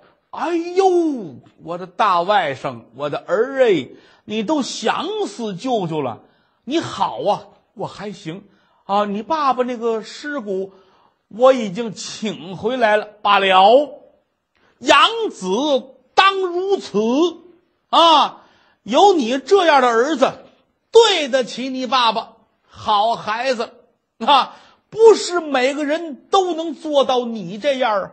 我这个当舅舅的，我这个心里边瞧着你，我高兴啊！好孩子，别跪着，家无常理，快快起来，随舅父咱们后堂饮酒。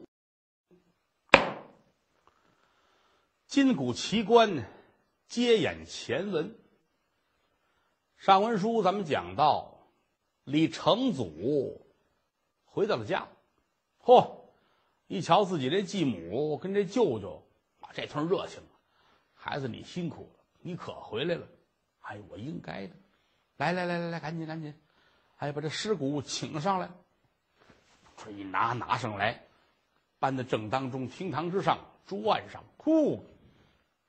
焦氏啊，扑到这儿，这头哭。哎呦，父威父威！你怎么就会呀？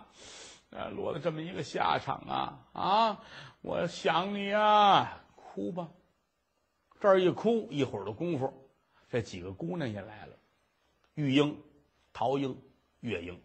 哎呦，兄弟你回来，姐姐我回来了。呼，搂着一块儿哭一抱，擦擦眼泪。你看看，这是咱爹，我给请回来了。哎呦，这几个孩子跪在地上哇哇的痛哭啊！嗯，哭罢多时，焦荣说：“行了，得了啊，这不是喜事吗？尸骨省得在外飘零，这算是回了家了。啊，一半天咱们准备好了下葬也就成了。行了，没事了，你们去该歇着歇着吧。哈，成祖一路辛苦，来来来，舅舅跟你喝两杯。孩子就让到旁边这屋，桌上啊，菜酒。”都准备齐了，刚才呀，苗全出去买的这个酒，买的砒霜，趁人不备，把砒霜跟酒都兑好了，放在桌上出去了。这一进来，焦氏、焦荣、成祖三个人坐好了。焦荣看了看外甥，好，好样的。不愧是李雄的儿子，好孩子，有个样啊！你是咱们家的大功臣，来，舅舅敬你一杯，拿过壶来倒满了，来，喝一杯。哟，我我不会喝酒，孩子，你现在是大人了，大人都得喝酒，来喝一杯。哎，这接过来，喝一杯。焦氏又抢过来了，来，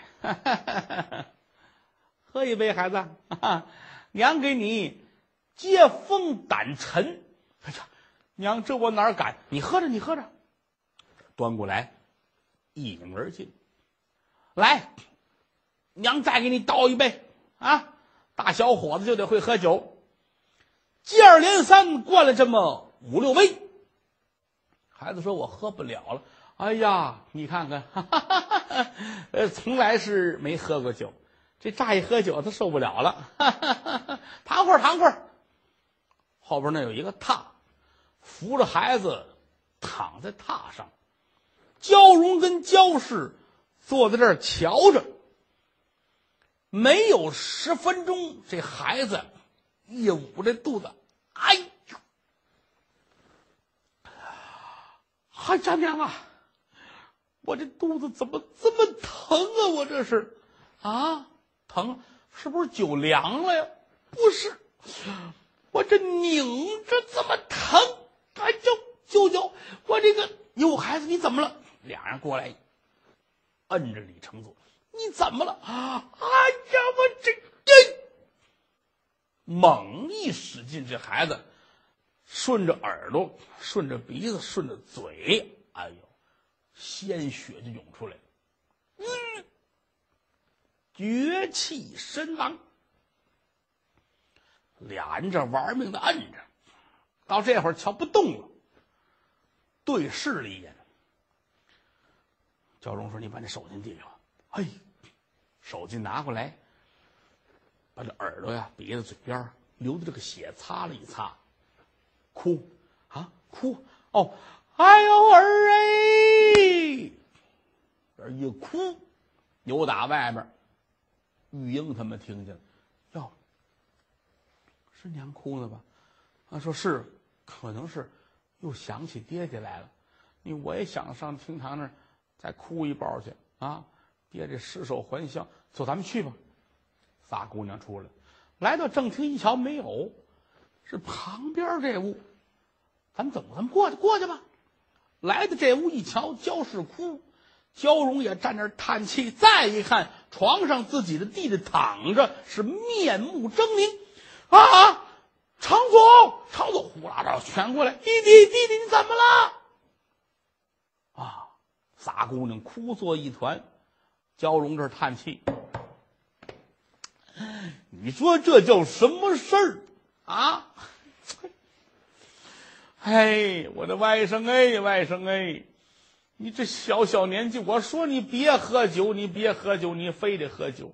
长途跋涉，心火大，这一进门你就非得喝酒，酒呛心血而亡啊！你这是。哎呦，我的好外甥哎！呼，这通好，他也哭，焦氏也哭，这几个丫头也跟着哭。哎呀，屋里这个惨呐！哭罢多时，焦荣说：“光哭也不是办法啊！”苗全，苗全，又打外边，苗全进来了。舅爷，怎么了？嗨，什么小少爷没了吗？哎呦，哎呦，呦呦呦呦！这这怎么话说的？这怎么话说的啊？您您您吩咐我。去买棺材去，给你这钱，买棺材啊！回来装里。哎哎哎，苗全出去了，买棺材。哎呀，李玉英站在弟弟尸首旁边，都哭不出声来了。兄弟，兄弟，你是我的亲人呢，啊！长途跋涉到了家中，还没说几句热乎话，你怎么就死了呢？嗯。你到底是怎么回事啊？让姐姐不明白。这哭着哭着，突然间发现不对，怎么呢？弟弟这个耳朵眼儿、嘴角边儿、鼻子、眼角有血迹，仿佛是啊没擦干净。其实刚才擦干净，但是他又渗出来了啊。哎，当时就愣。他喝酒，他怎么能够七窍流血呢？这么一差神儿，焦荣看出来了，心说这不成，不能让他们跟这儿待着，瞧出疑点来对我们不利。行了，行了，闺女们，得了，我也知道你们难过啊，别难过了，先都出去吧，出去吧。待会儿我给孩子换身衣裳啊！一会儿入殓装棺材，你们再进来啊！快去吧，快去吧！我们得多看他一眼。哎呀，换衣裳了，换完衣裳再来啊！把几个姑娘就轰出去了。这一关上门，焦氏说：“哥哥，有事儿没事你放心，就凭几个弱女子，她又能如何？待会儿棺材来了，一入殓，一埋。”就算没事儿，哎，行，我这心噔噔跳，嗨，你行了吧？你不就盼着今天吗？嗯，这小子弄完了，得了这仨丫头，没事儿，等着吧。等了一会儿的功夫，苗全回来了，把这棺材往这一放，啊，给李成祖找了身衣裳，换好了，抱起来往棺材里边一搁，就这会儿功夫，门开了，这姐儿仨又进来了。成祖，弟弟，哼那俩叫哥哥，这叫兄弟，哭得跟泪人似的。啊，行了行了，瞧一眼吧，瞧一眼，一会儿就入殓了啊。可是有一节，这个棺材买的不合适，怎么呢？苗全买棺材，特意了问哪个便宜，他买的便宜的，便宜的这个小。短，死尸放在里边这俩腿在外边担着，啊，大腿能进，小腿跟着脚在棺材外边担着，进不去。还没琢磨透怎么办，这姐仨进来哭，啊，玉英说：“哎呦，说不出话来，那指着，那意思这腿怎么办？这哭。”焦氏瞧了眼哥哥，焦荣看了一眼苗全，知道你落了钱了，心说混账，瞪他一眼。苗全把头低下了，怎么呢？买东西这破案了，啊，人家知道买小了，不敢说话。焦荣瞧眼这仨姑娘，一劲儿的看，心说这不成，老这么看，看出事儿来了。冲着妹妹一使眼色，赵氏点点头，出去都出去吧，啊，快出去吧！啊，行了，瞧一眼得了啊！哎呦，无福的孩子，出去，出，出去！把仨姑娘轰出去，把门关上。焦荣一指，这怎么回事？死尸进不去，脑袋进去了，脚跟外边耷拉着，这怎么办？这就爷，我这没想到，这没想到。这落钱了吗？怎么办？哥哥，这也不叫事儿。你等我一会儿。焦氏转身打后门出去，五分钟回来了，手里拎着一把斧子。看点门，哎，抱出来。喂，苗全把死尸抱出来，放在地上。焦氏太狠了。拿斧子剁这腿，嘡嘡嘡，连剁了几下，把孩子两条小腿剁下来了。把裤子编好了，掖在棺材里，两条小腿一兜着脖子，塞到后边去，当枕头。外边拿被一盖一掖，把地上血一擦，一扣棺材盖行了，叫他们进来。这儿安顿好了，把门打开，外边找人来抬这棺材，搭起来往外一走，这姐儿仨哭的不成了。那俩小，陶英和月英小，玉英大。到这会儿，心里的疑团是越来越大。不对，第一，我弟弟怎么一进门就死了？为什么？此其一。第二，他怎么七窍流血呀？他得什么病？他能这么脆？第三，我们在这哭的时候，这死尸进不去，这腿在外边耷拉着呢，我心里难过，说不出话来了。怎么叫一会儿功夫给我们轰出去了？棺材盖都扣上了。为什么？就这几件事在脑子里翻过来调过去。来回琢磨，这是为什么？难过是真难过，哇哇的哭，可是不住的想这个事儿。焦荣这赶紧就打着马虎眼啊，弄出去找地儿一埋，就算拉倒了。又找了一天，请和尚老道啊，把李雄的尸骨也入了棺材，就算完事儿了。焦家哥俩自以为这个事儿就天衣无缝，拉倒了，也就这样了。老李家万贯家财是我的了，心里非常的高兴，啊，唯一盼着的事儿呢，就是儿子这个世袭要是能批下来，太好了。往里边花钱花了也不少，求人呐，哎，托人办这个事儿，但是呢，挺不如愿的。因为什么呢？朝廷最后呢也下了圣旨了，啊，凡是这次征战死了的，啊，一律是升官，升一级的，升两级的，啊，给一个荣誉。但是说最后这个世袭没有了，接不上，得钱白花了。可是自己心里边呢，还挺别扭，啊，焦氏每天想，这仨姑娘怎么办？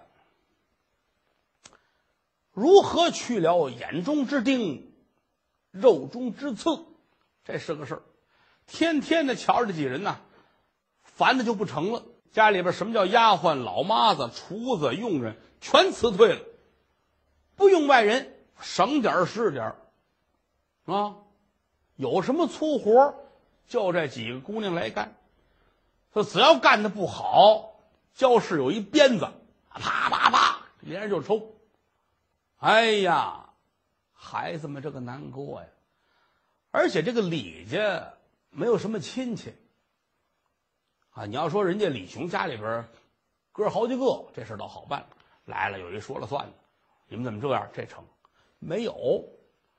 有两门远房的亲戚还住挺远啊，一住甘肃的，一住的东北的，轻易来不了。嚯，家里边。焦大奶奶算是作了妖了，想怎么着就怎么着，对这仨姑娘非打则骂，一天到晚的拿人家撒法子。哎呀，孩子们天天的哭，街坊邻居听见心里都不是滋味可谁能过去劝去？哎呀，这仨姑娘心说这算完了，人间地狱都小，逃也逃不出去，这怎么办呢？哎，这么一天，玉英在后厨那正干活呢，教师叫他来，一反常态，闺女，来，来来来，您干嘛呀？吓坏了，天天没有这个，每天来拧眉瞪眼，死不了的，丫头片子啊，要不出来进去老拎着他那鞭子。今天是和颜悦色，还乐得跟要咬人似的，脸都开了花了。来，姑娘，让您干嘛？来来来来来来，叫到屋里边去。我给你做身新衣裳，你看看，打开包袱皮儿，看，这还有这个首饰，都是给你的。啊，梳梳头，洗洗脸，这两天别干活了，保养保养。你看你的手，哎呀，手都皴了。啊，抹点东西，我这都有。嗯，玉英心说：“这怎么了？这是太阳打西边出来了，这是怎么回事呢？”嗯，不解，又不敢不听，啊，让换衣裳就换吧。让干嘛干嘛吧，这两天也没打也没骂，而且来说对他非常的和蔼，有好吃的记着他吃，自己不明白，一直等到这天焦荣来了，一说这个事儿，这才明白。焦荣往这一坐，大姑娘，哈哈哈哈好孩子，越来越水灵了，嗯，真好。哈哈哈哈舅舅您好，哎呀呀呀，好闺女，好闺女，这两天捯饬的不赖啊，嗯，挺好。我跟你说啊，喜事来了，舅舅，什什么事儿啊？你不知道，听舅舅我告诉你啊，什么事儿呢？嗨，朝中正德皇帝。驾崩，新君继位，也就是嘉靖皇爷登基，换了皇上。皇上登基那是必须的，三宫六院得填满了。天下挑选嫔妃，啊，选媳妇儿。家中有秀女的，必须要上报。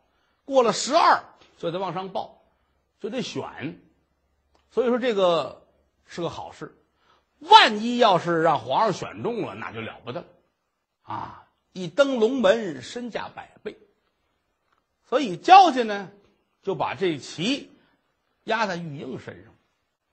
这要是能让皇上选中了，这可是个好事嗯，你别干活了呗。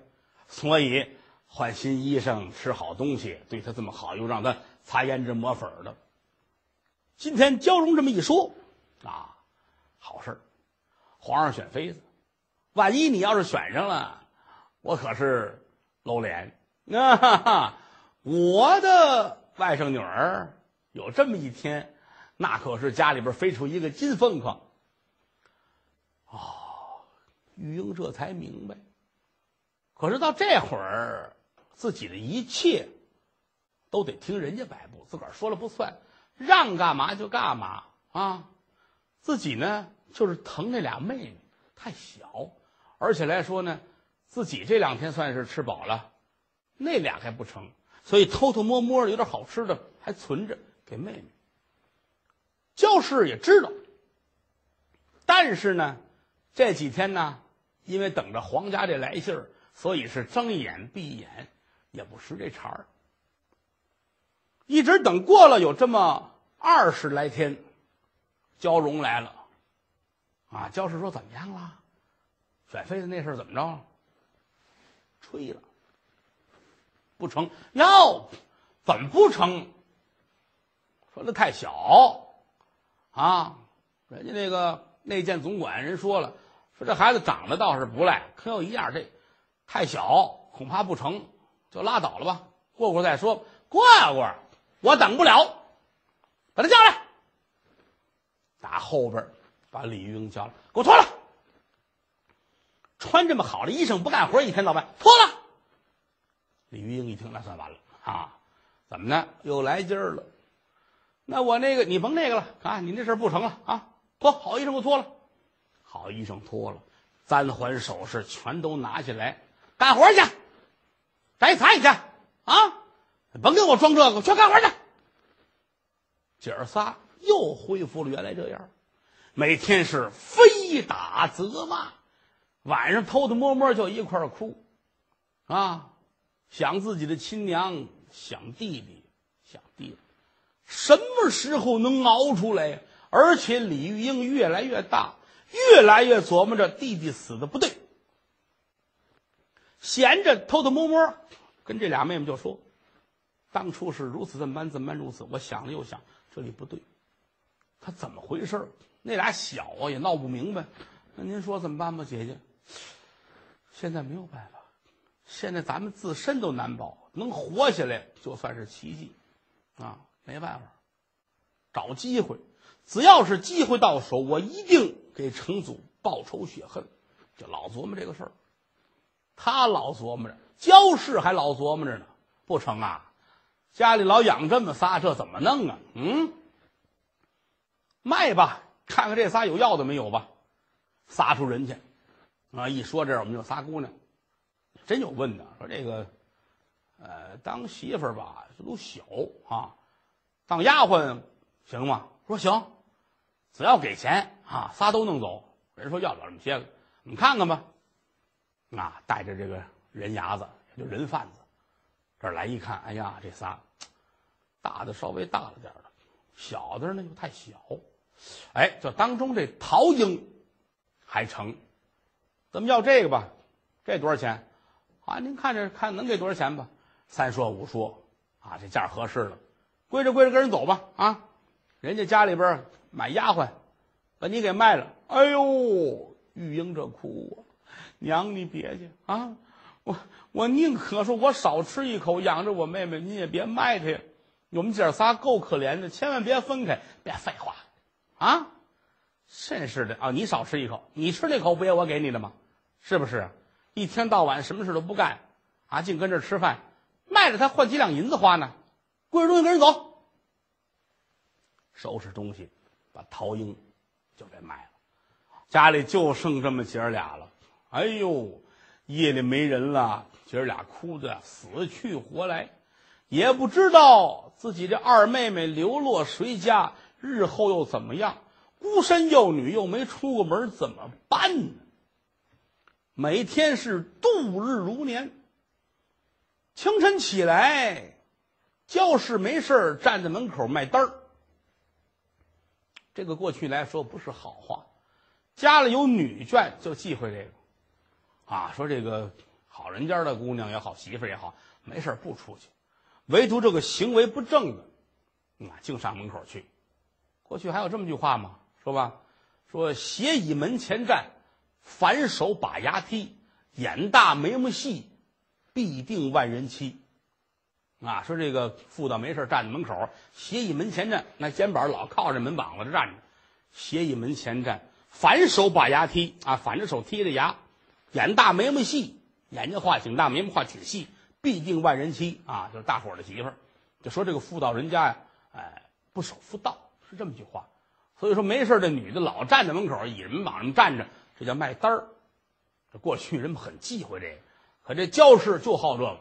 他没事干呢，嗯，抓把瓜子儿，站在门口倚着这大门嗑瓜子儿，看看来往的人，街坊邻居打这走都骂街，什么玩意儿？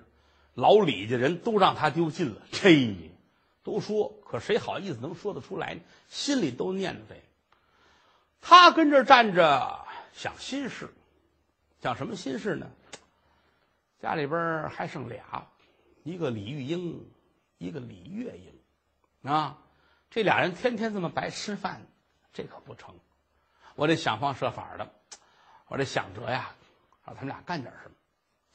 再卖了他们，一时半会儿也没有合适的主，说怎么办呢？嗯，跟这琢磨着。有打这边来了这么俩人，看着像是母女二人，啊，这个母亲呐得有个四五十岁，带着一小姑娘。十一二岁，啊，干嘛呢？要饭，是沿街乞讨。到哪家门口，这个女的不说话，啊，孩子说话。叔叔大爷们，可怜可怜我吧！啊，我爹病了，没辙了，就剩我们娘俩了，哎，没有钱吃饭，也没钱看病，您可怜可怜吧。就有这好心人，哟，孩子真可怜，给你吧。啊，这个给没有多少，仨瓜俩枣，这门要完了奔那边，那边要完了奔这边，走来走去就走到教室门口了啊。哎呦，这位大奶奶，您可怜可怜我们吧，我们是穷人，走走走走走走走走走。你是穷人，你瞧着我富裕，滚！把人给骂走了。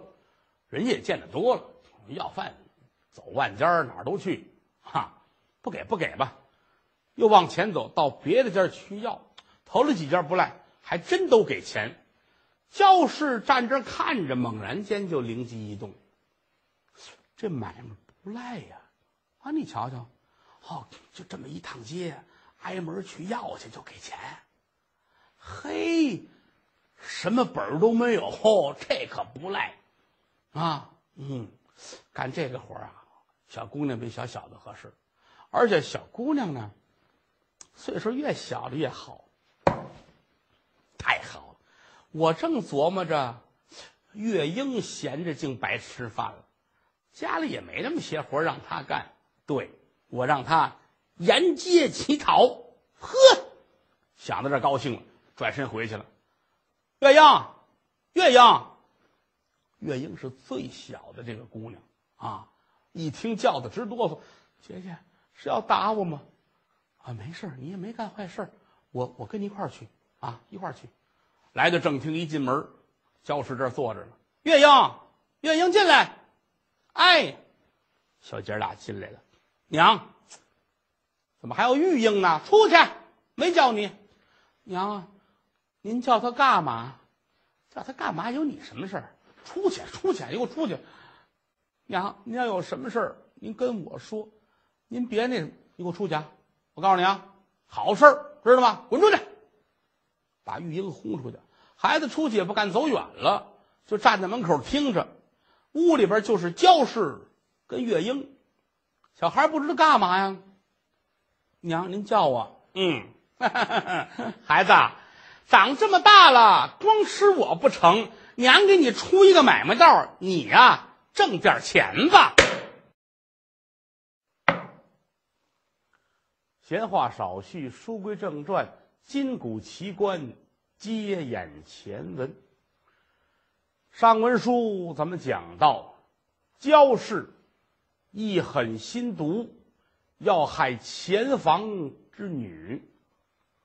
他站在门口这儿瞧见，哟呵，有个小姑娘沿街叫化，打这个门口奔这个门口。这一趟街，零钱可是要了不少。他自己觉得是灵机一动，太好了，心中暗想：最小的这个月英，在家里边纯粹是吃闲饭，倒不如让他学一学，也去要画。回到屋里往这一坐，我说：“月英啊。”小姑娘进来，站在那儿瞧的直害怕。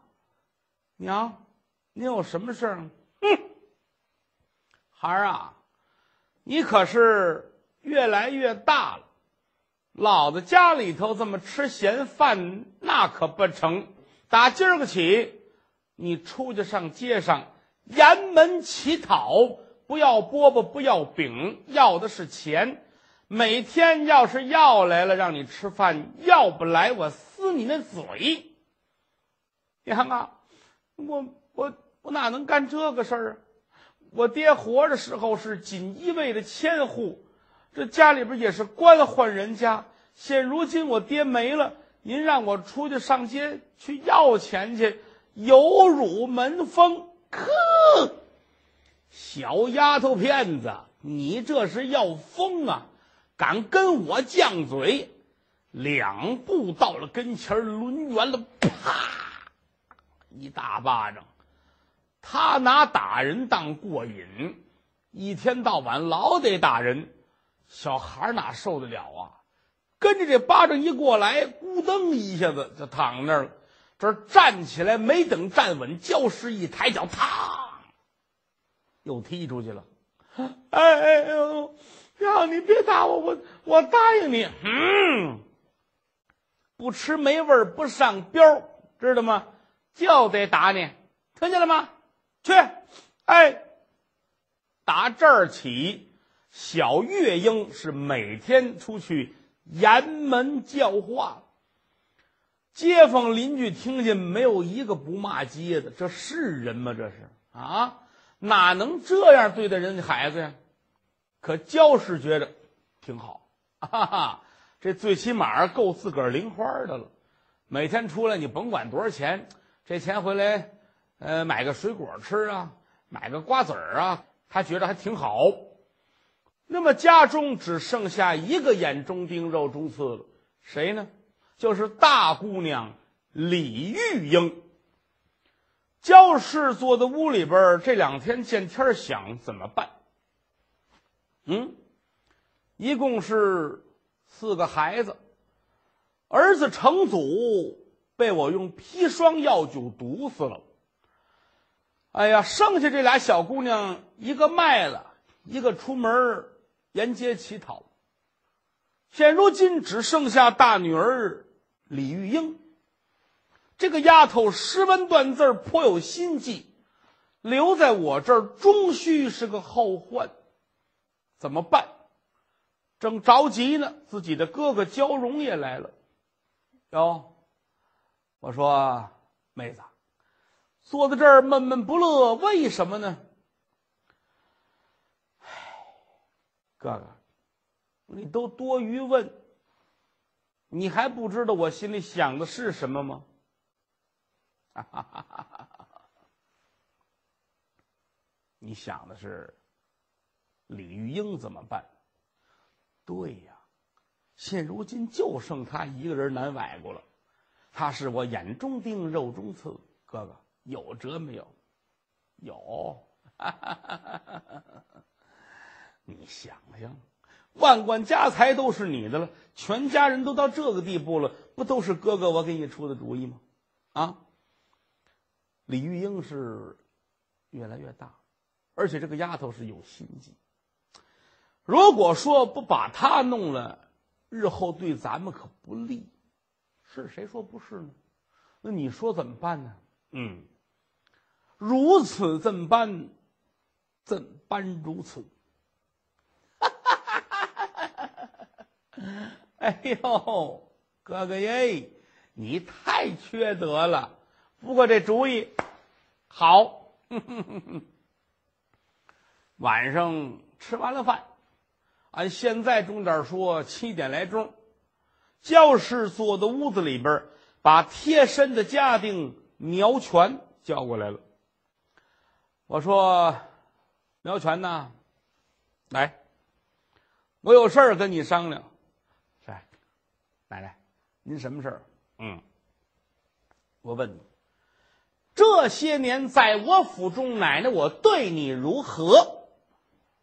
奶奶，您对小人天高地厚之恩，嗯，既然如此的话，我还有一件事情吩咐你去办，你可愿往？哎呀，奶奶，有事儿您就说。这么多年来，您安排我干什么没干？是不是？您尽管吩咐。嗯嗯，今日晚间。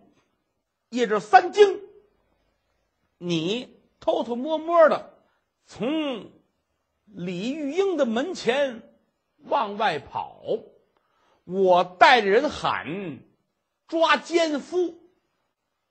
你只要越墙而出，跑了找地儿一躲就成了。明天白天你还来，啊，跟没事儿一样，这事儿就妥了。这就算是你又帮了我一回。哎呦，奶奶，你看 这个还叫事儿吗？是不是？行，我听您的。苗全去准备了。书中代言，这是焦家兄妹暗设的毒计。人家李玉英可是黄花大姑娘，污蔑人家孩子奸淫，说他有奸夫，啊，半夜里边有男的从你那跑出来了，我没逮着。就凭这一点，就能把你送到当官。你要一犟嘴，这叫忤逆，奸淫忤逆是可以判成死罪的。尤其是焦荣在衙门里当差，他深知这一套。兄妹二人设下狠毒之计，要害李玉英。说话的功夫，天是越来越黑，眼瞅着桥楼之上，鼓打三更。狗贼苗全又打屋里边出来，蹑足潜踪，来在了李玉英的寝室门口。要说这小子不是东西，怎么呢？想当初就是他护送着成祖陕西班师，中途路上要害小主人一命身亡，老天佑护才没死了。啊！可是回家来，又是他去买的砒霜下在酒中，导致成祖身亡。买棺材买小了，也是因为他在里边落了钱了，才导致焦氏装不下死尸，用斧子把孩子的小腿砍下来。种种恶行都有苗全的参与。今夜晚间，他又来是假扮奸夫，来到门口这儿。弓下身子来，左瞧瞧，右望望，没有什么人。拿手啪啪啪一砸玉英的房门，姑娘惊醒了。半夜三更，这是谁敲我的门呢？谁呀？捏着嗓子压低了声音：“是我，姑娘，我来了，开门。”你我相会。这话刚说完，就打东厢房那儿有人喊了一声：“抓奸夫啊！”谁呀？焦氏啊，早就安排好了。这个焦荣又给他派过几个人来，说：“你们几个人啊，就跟厢房那儿待着，什么都甭管啊。等大奶奶那一喊，跟着一块儿出来。”院里有一坏人跟着一追就行了，也不必追上，反正是啊，奔着方向去就行。哎，成嘞，这几人都跟这等着呢，啊，焦氏在屋看着呢。一瞧啊，苗全到这儿了，啊，这才一喊抓奸夫啊！哟嚯！苗全一听，我真逮我了，跑，知道是做戏，站起来往外就跑。嚯！这些人全出来，得有六七个，教室带着抓他，抓他，抓他！逮奸夫，臭不要脸的，逮他！大伙儿一追，苗全说：“我跑吧。”啊，家里他熟，三窜五蹦到了院墙这儿，踩着矮墙一翻出去了。追的这几个里边呢，哎，也有这身子麻利的啊，来来追，咱翻墙了，咱们也翻墙啊！就有俩翻了墙过来了。苗全挺生气，哎，行了，追追就完了，干嘛跟真的似的？这是啊，哼，追我，哎，斜对过不远，那儿有一辆大二车。这是一辆马车，那会儿来说，人们出行啊也没有别的交通工具，这就算不错的了，啊！和大半夜这儿停辆车，我上车吧，上车一躲，你们瞧不见我，待会儿我就下来了。这小子也快，三下两下上了车了，啊！屋里呼噜呼噜都追出来，哪儿去了？哪儿去了？说奔东下去追，呼噜噜噜都奔东，虚张声势，在人群中交氏还不住的骂衔接。好你个李玉英啊啊！这么大的姑娘，你没羞没臊，你勾结奸夫，我老李家的脸都让你丢尽了。干嘛喊？这是给街坊四邻们听的，让你们知道知道李玉英勾结奸夫。这一喊一闹，街坊们就有听见了啊！这又起来，有人就拦着，甭听他那。胡说八道啊！你要说他勾结奸夫，我们相信；你要说李玉英，这也不可能。睡觉，他这不定怎么欺负人家孩子。街坊们是议论纷纷。咱们单说苗全，躲在了大儿车里边，心说差不多了，他们可能是该走了啊！走了，我该下车。没想到，刚要下车，这车动换了啊！紧跟着就感觉有人呢给这马一鞭子，啪，呱啦呱啦呱啦呱啦呱啦，啊，坏了，车动了，怎么回事呢？街坊有一家啊，人家家里边病人，啊，半夜里这准备请大夫去，啊，弄这么一车准备走，就是这个车把上一个人，这是接医生，谁知道车里还坐着这么一贼呢？咵，吼，哗啦哗啦哗啦，马车往前就走。苗全一琢磨，还这茬老点啊！这个，我知道你是谁呀，我就躲一会儿。你把我拉哪儿去？可是又不能喊，那先跟着走吧。好，这马车奔十字街下去了。十字街往北一拐，一拐个弯去，这路口这正好是那棺材铺。半夜里边啊，用棺材，啊，棺材它都是跟乡下做，做完之后里边拿大马车再拉进来，哎，在马在这儿再卖。他不能跟这儿一气存很多的货，夜里边没事儿，人家正好今天进货运棺材来，可是没想到这马车一转弯过来，对过那个马呀，跟这个马一打岔，这不一拉马头没留神，这边这马惊了，哎呦嚯，车把都跳下来了，车把式是跳下来了，这马可没停，直接奔对过的马车去了，俩马车就插在一块儿，这边是大儿车。那边车是货车，拉的都是棺材，哐怼一块儿，大儿车整个翻了，把苗全打车里周出来啊，咣叽就扔到地上了，躺在地上，要按他的身手是没问题的啊。这一伏地，刚要起，就这么快，还没等起呢，这棺材这舵塌了，紧上边最大这口棺材呜下来了。棺材这角奔苗全这脑袋啊，当时就砸烂了。这也是天网恢恢，疏而不漏。想当初给李成祖买棺材买小了，焦氏一瞧这腿啊，跟棺材外边了，装不进去，拿斧子把孩子两条小腿剁下来了，这才装进去。那个原因就是因为苗全买棺材诚心的买小小的便宜。可没想到，今天他死在棺材底下了，这就叫报应。说这之后怎么打官司、料理这个事儿，咱们不提。回过头来，再说焦氏，追了一大圈，这儿也没有，把人都打发走了。回到屋里，往这儿一坐，啊，我说：“玉英，你给我过来。”大姑娘早就起了，也不知道怎么回事哪儿我门口站一人叫门，我没理这茬紧跟着呢，院里乱哄哄的，啊，好像追出去了。大半天功夫回来了，继母娘叫自己，这儿战战兢兢来在了正厅。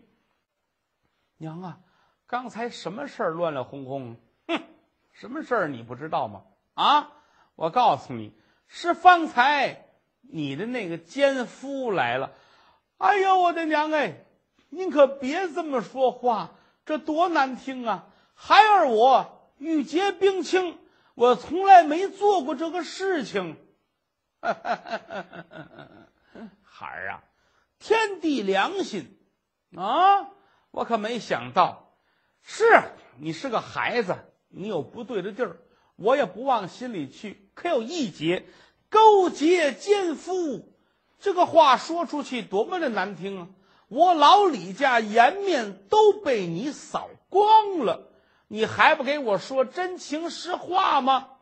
哎呀娘，您说这是冤枉我，我可不知道。你不知道？哼哼，好，一伸手把旁边桌子上放的茶壶抄起来，拿起来，啪，往地下一摔，摔了一个粉粉碎。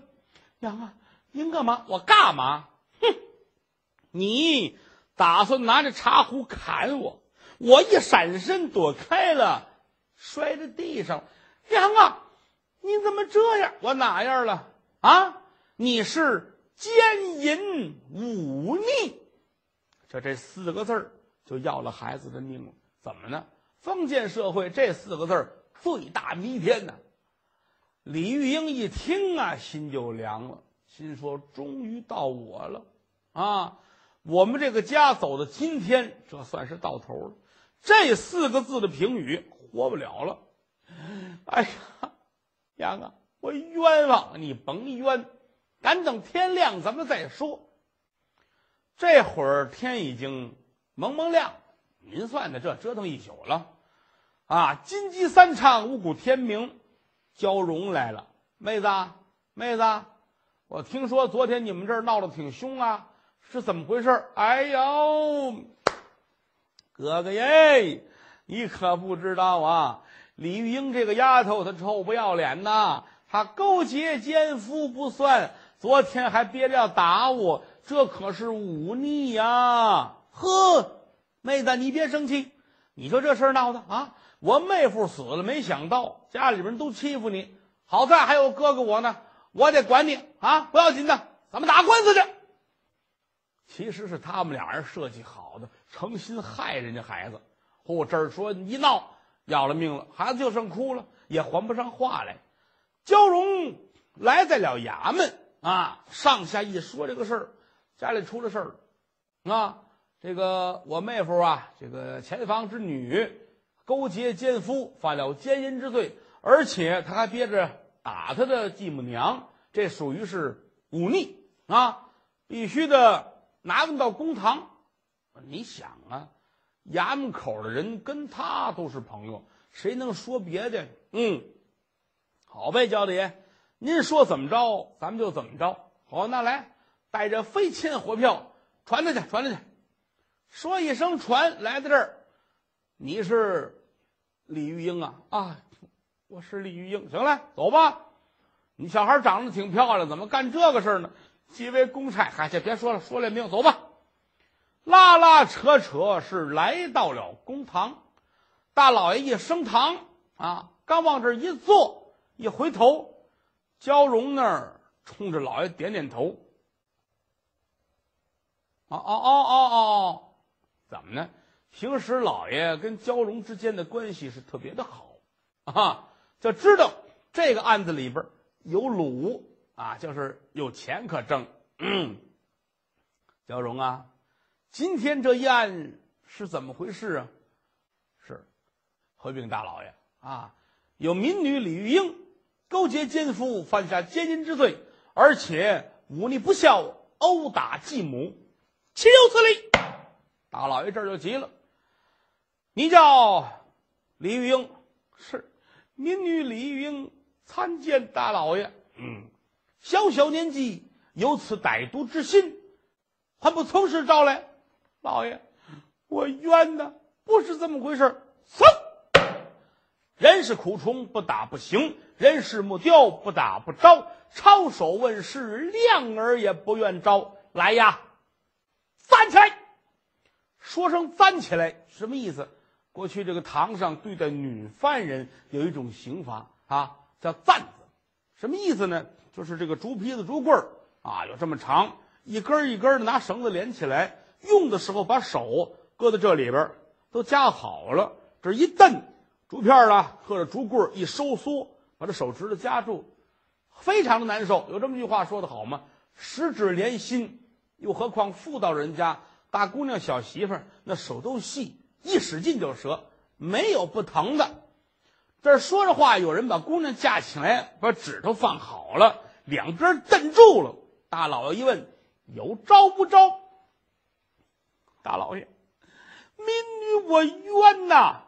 嗖，说一声收脸，旁边蹬住了。哎，孩子嗷嗷一声，当时就昏过去了。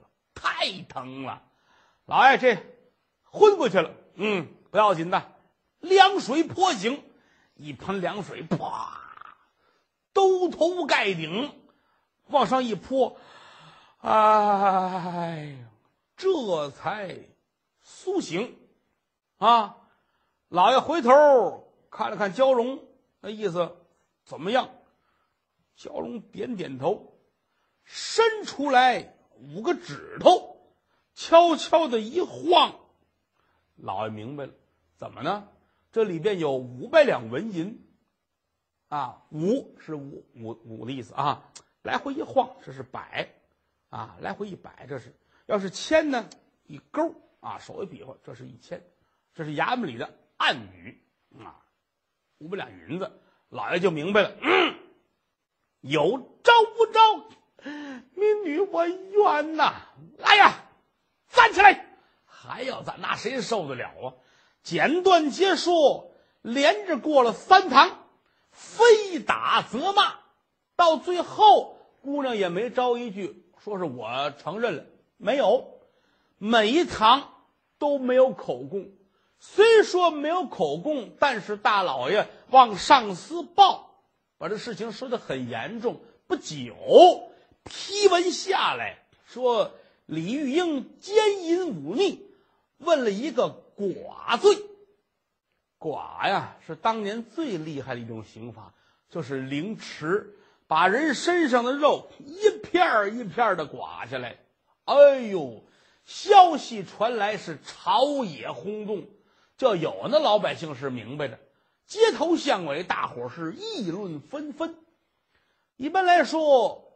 当年判死刑执行，都得是在秋天，秋高气爽。不管是人犯还是审案的人，头脑清醒，他一般不会犯错误，所以没有这么快就执行死刑的了。按说李玉英再想活命，势比登天。好在这一年的六月份，突然间，朝廷里边传下了一道旨意。因为嘉靖皇帝他是继承了堂兄正德的位置，所以说因为太上皇这个身份的问题，跟朝臣们出了一些个矛盾，僵持的很难受。为了笼络人心，这一年嘉靖皇帝吩咐普天下的监狱查冤假错案，就说所有的没有执行的案件，所有的人犯。都可以把你的冤枉再说一遍，啊，以示自己的正大光明。消息传来，监狱里本来等死的李玉英想了又想，我不能这样不清不白的就死，否则话九泉之下面见我父，我也无言答对。找狱卒要来了，执笔墨砚，摊开了纸。研得了墨，添饱了笔，一字一字是蘸着眼泪写的，把自己家里这些年的事儿一五一十是全都说出来了，写的非常的细致。几经辗转，这封奏折到了陆炳的手中。陆炳啊，是锦衣卫的总负责人，那是皇上的红人。一瞧这个冤案，可了不得了，这是惊天地泣鬼神，自己没敢呐，把他压下来，转奏上去。嘉靖皇爷一看这个奏本，是龙颜大怒，吩咐人好好的查。皇上说话了，那可不一般，从上到下一级一级的往下压。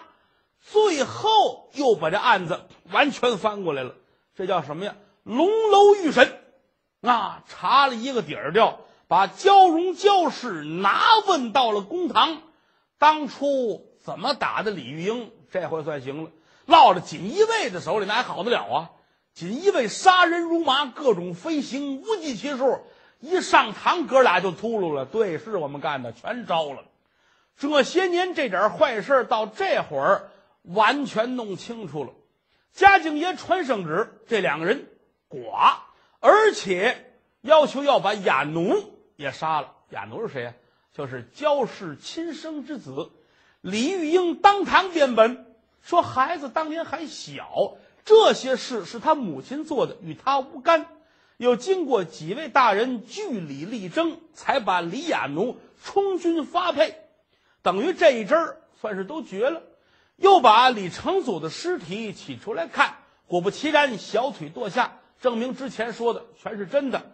按照圣旨下来，让他因公抚恤，那就是当初他爸爸这点官职给了他，只不过是一个名誉上的事情。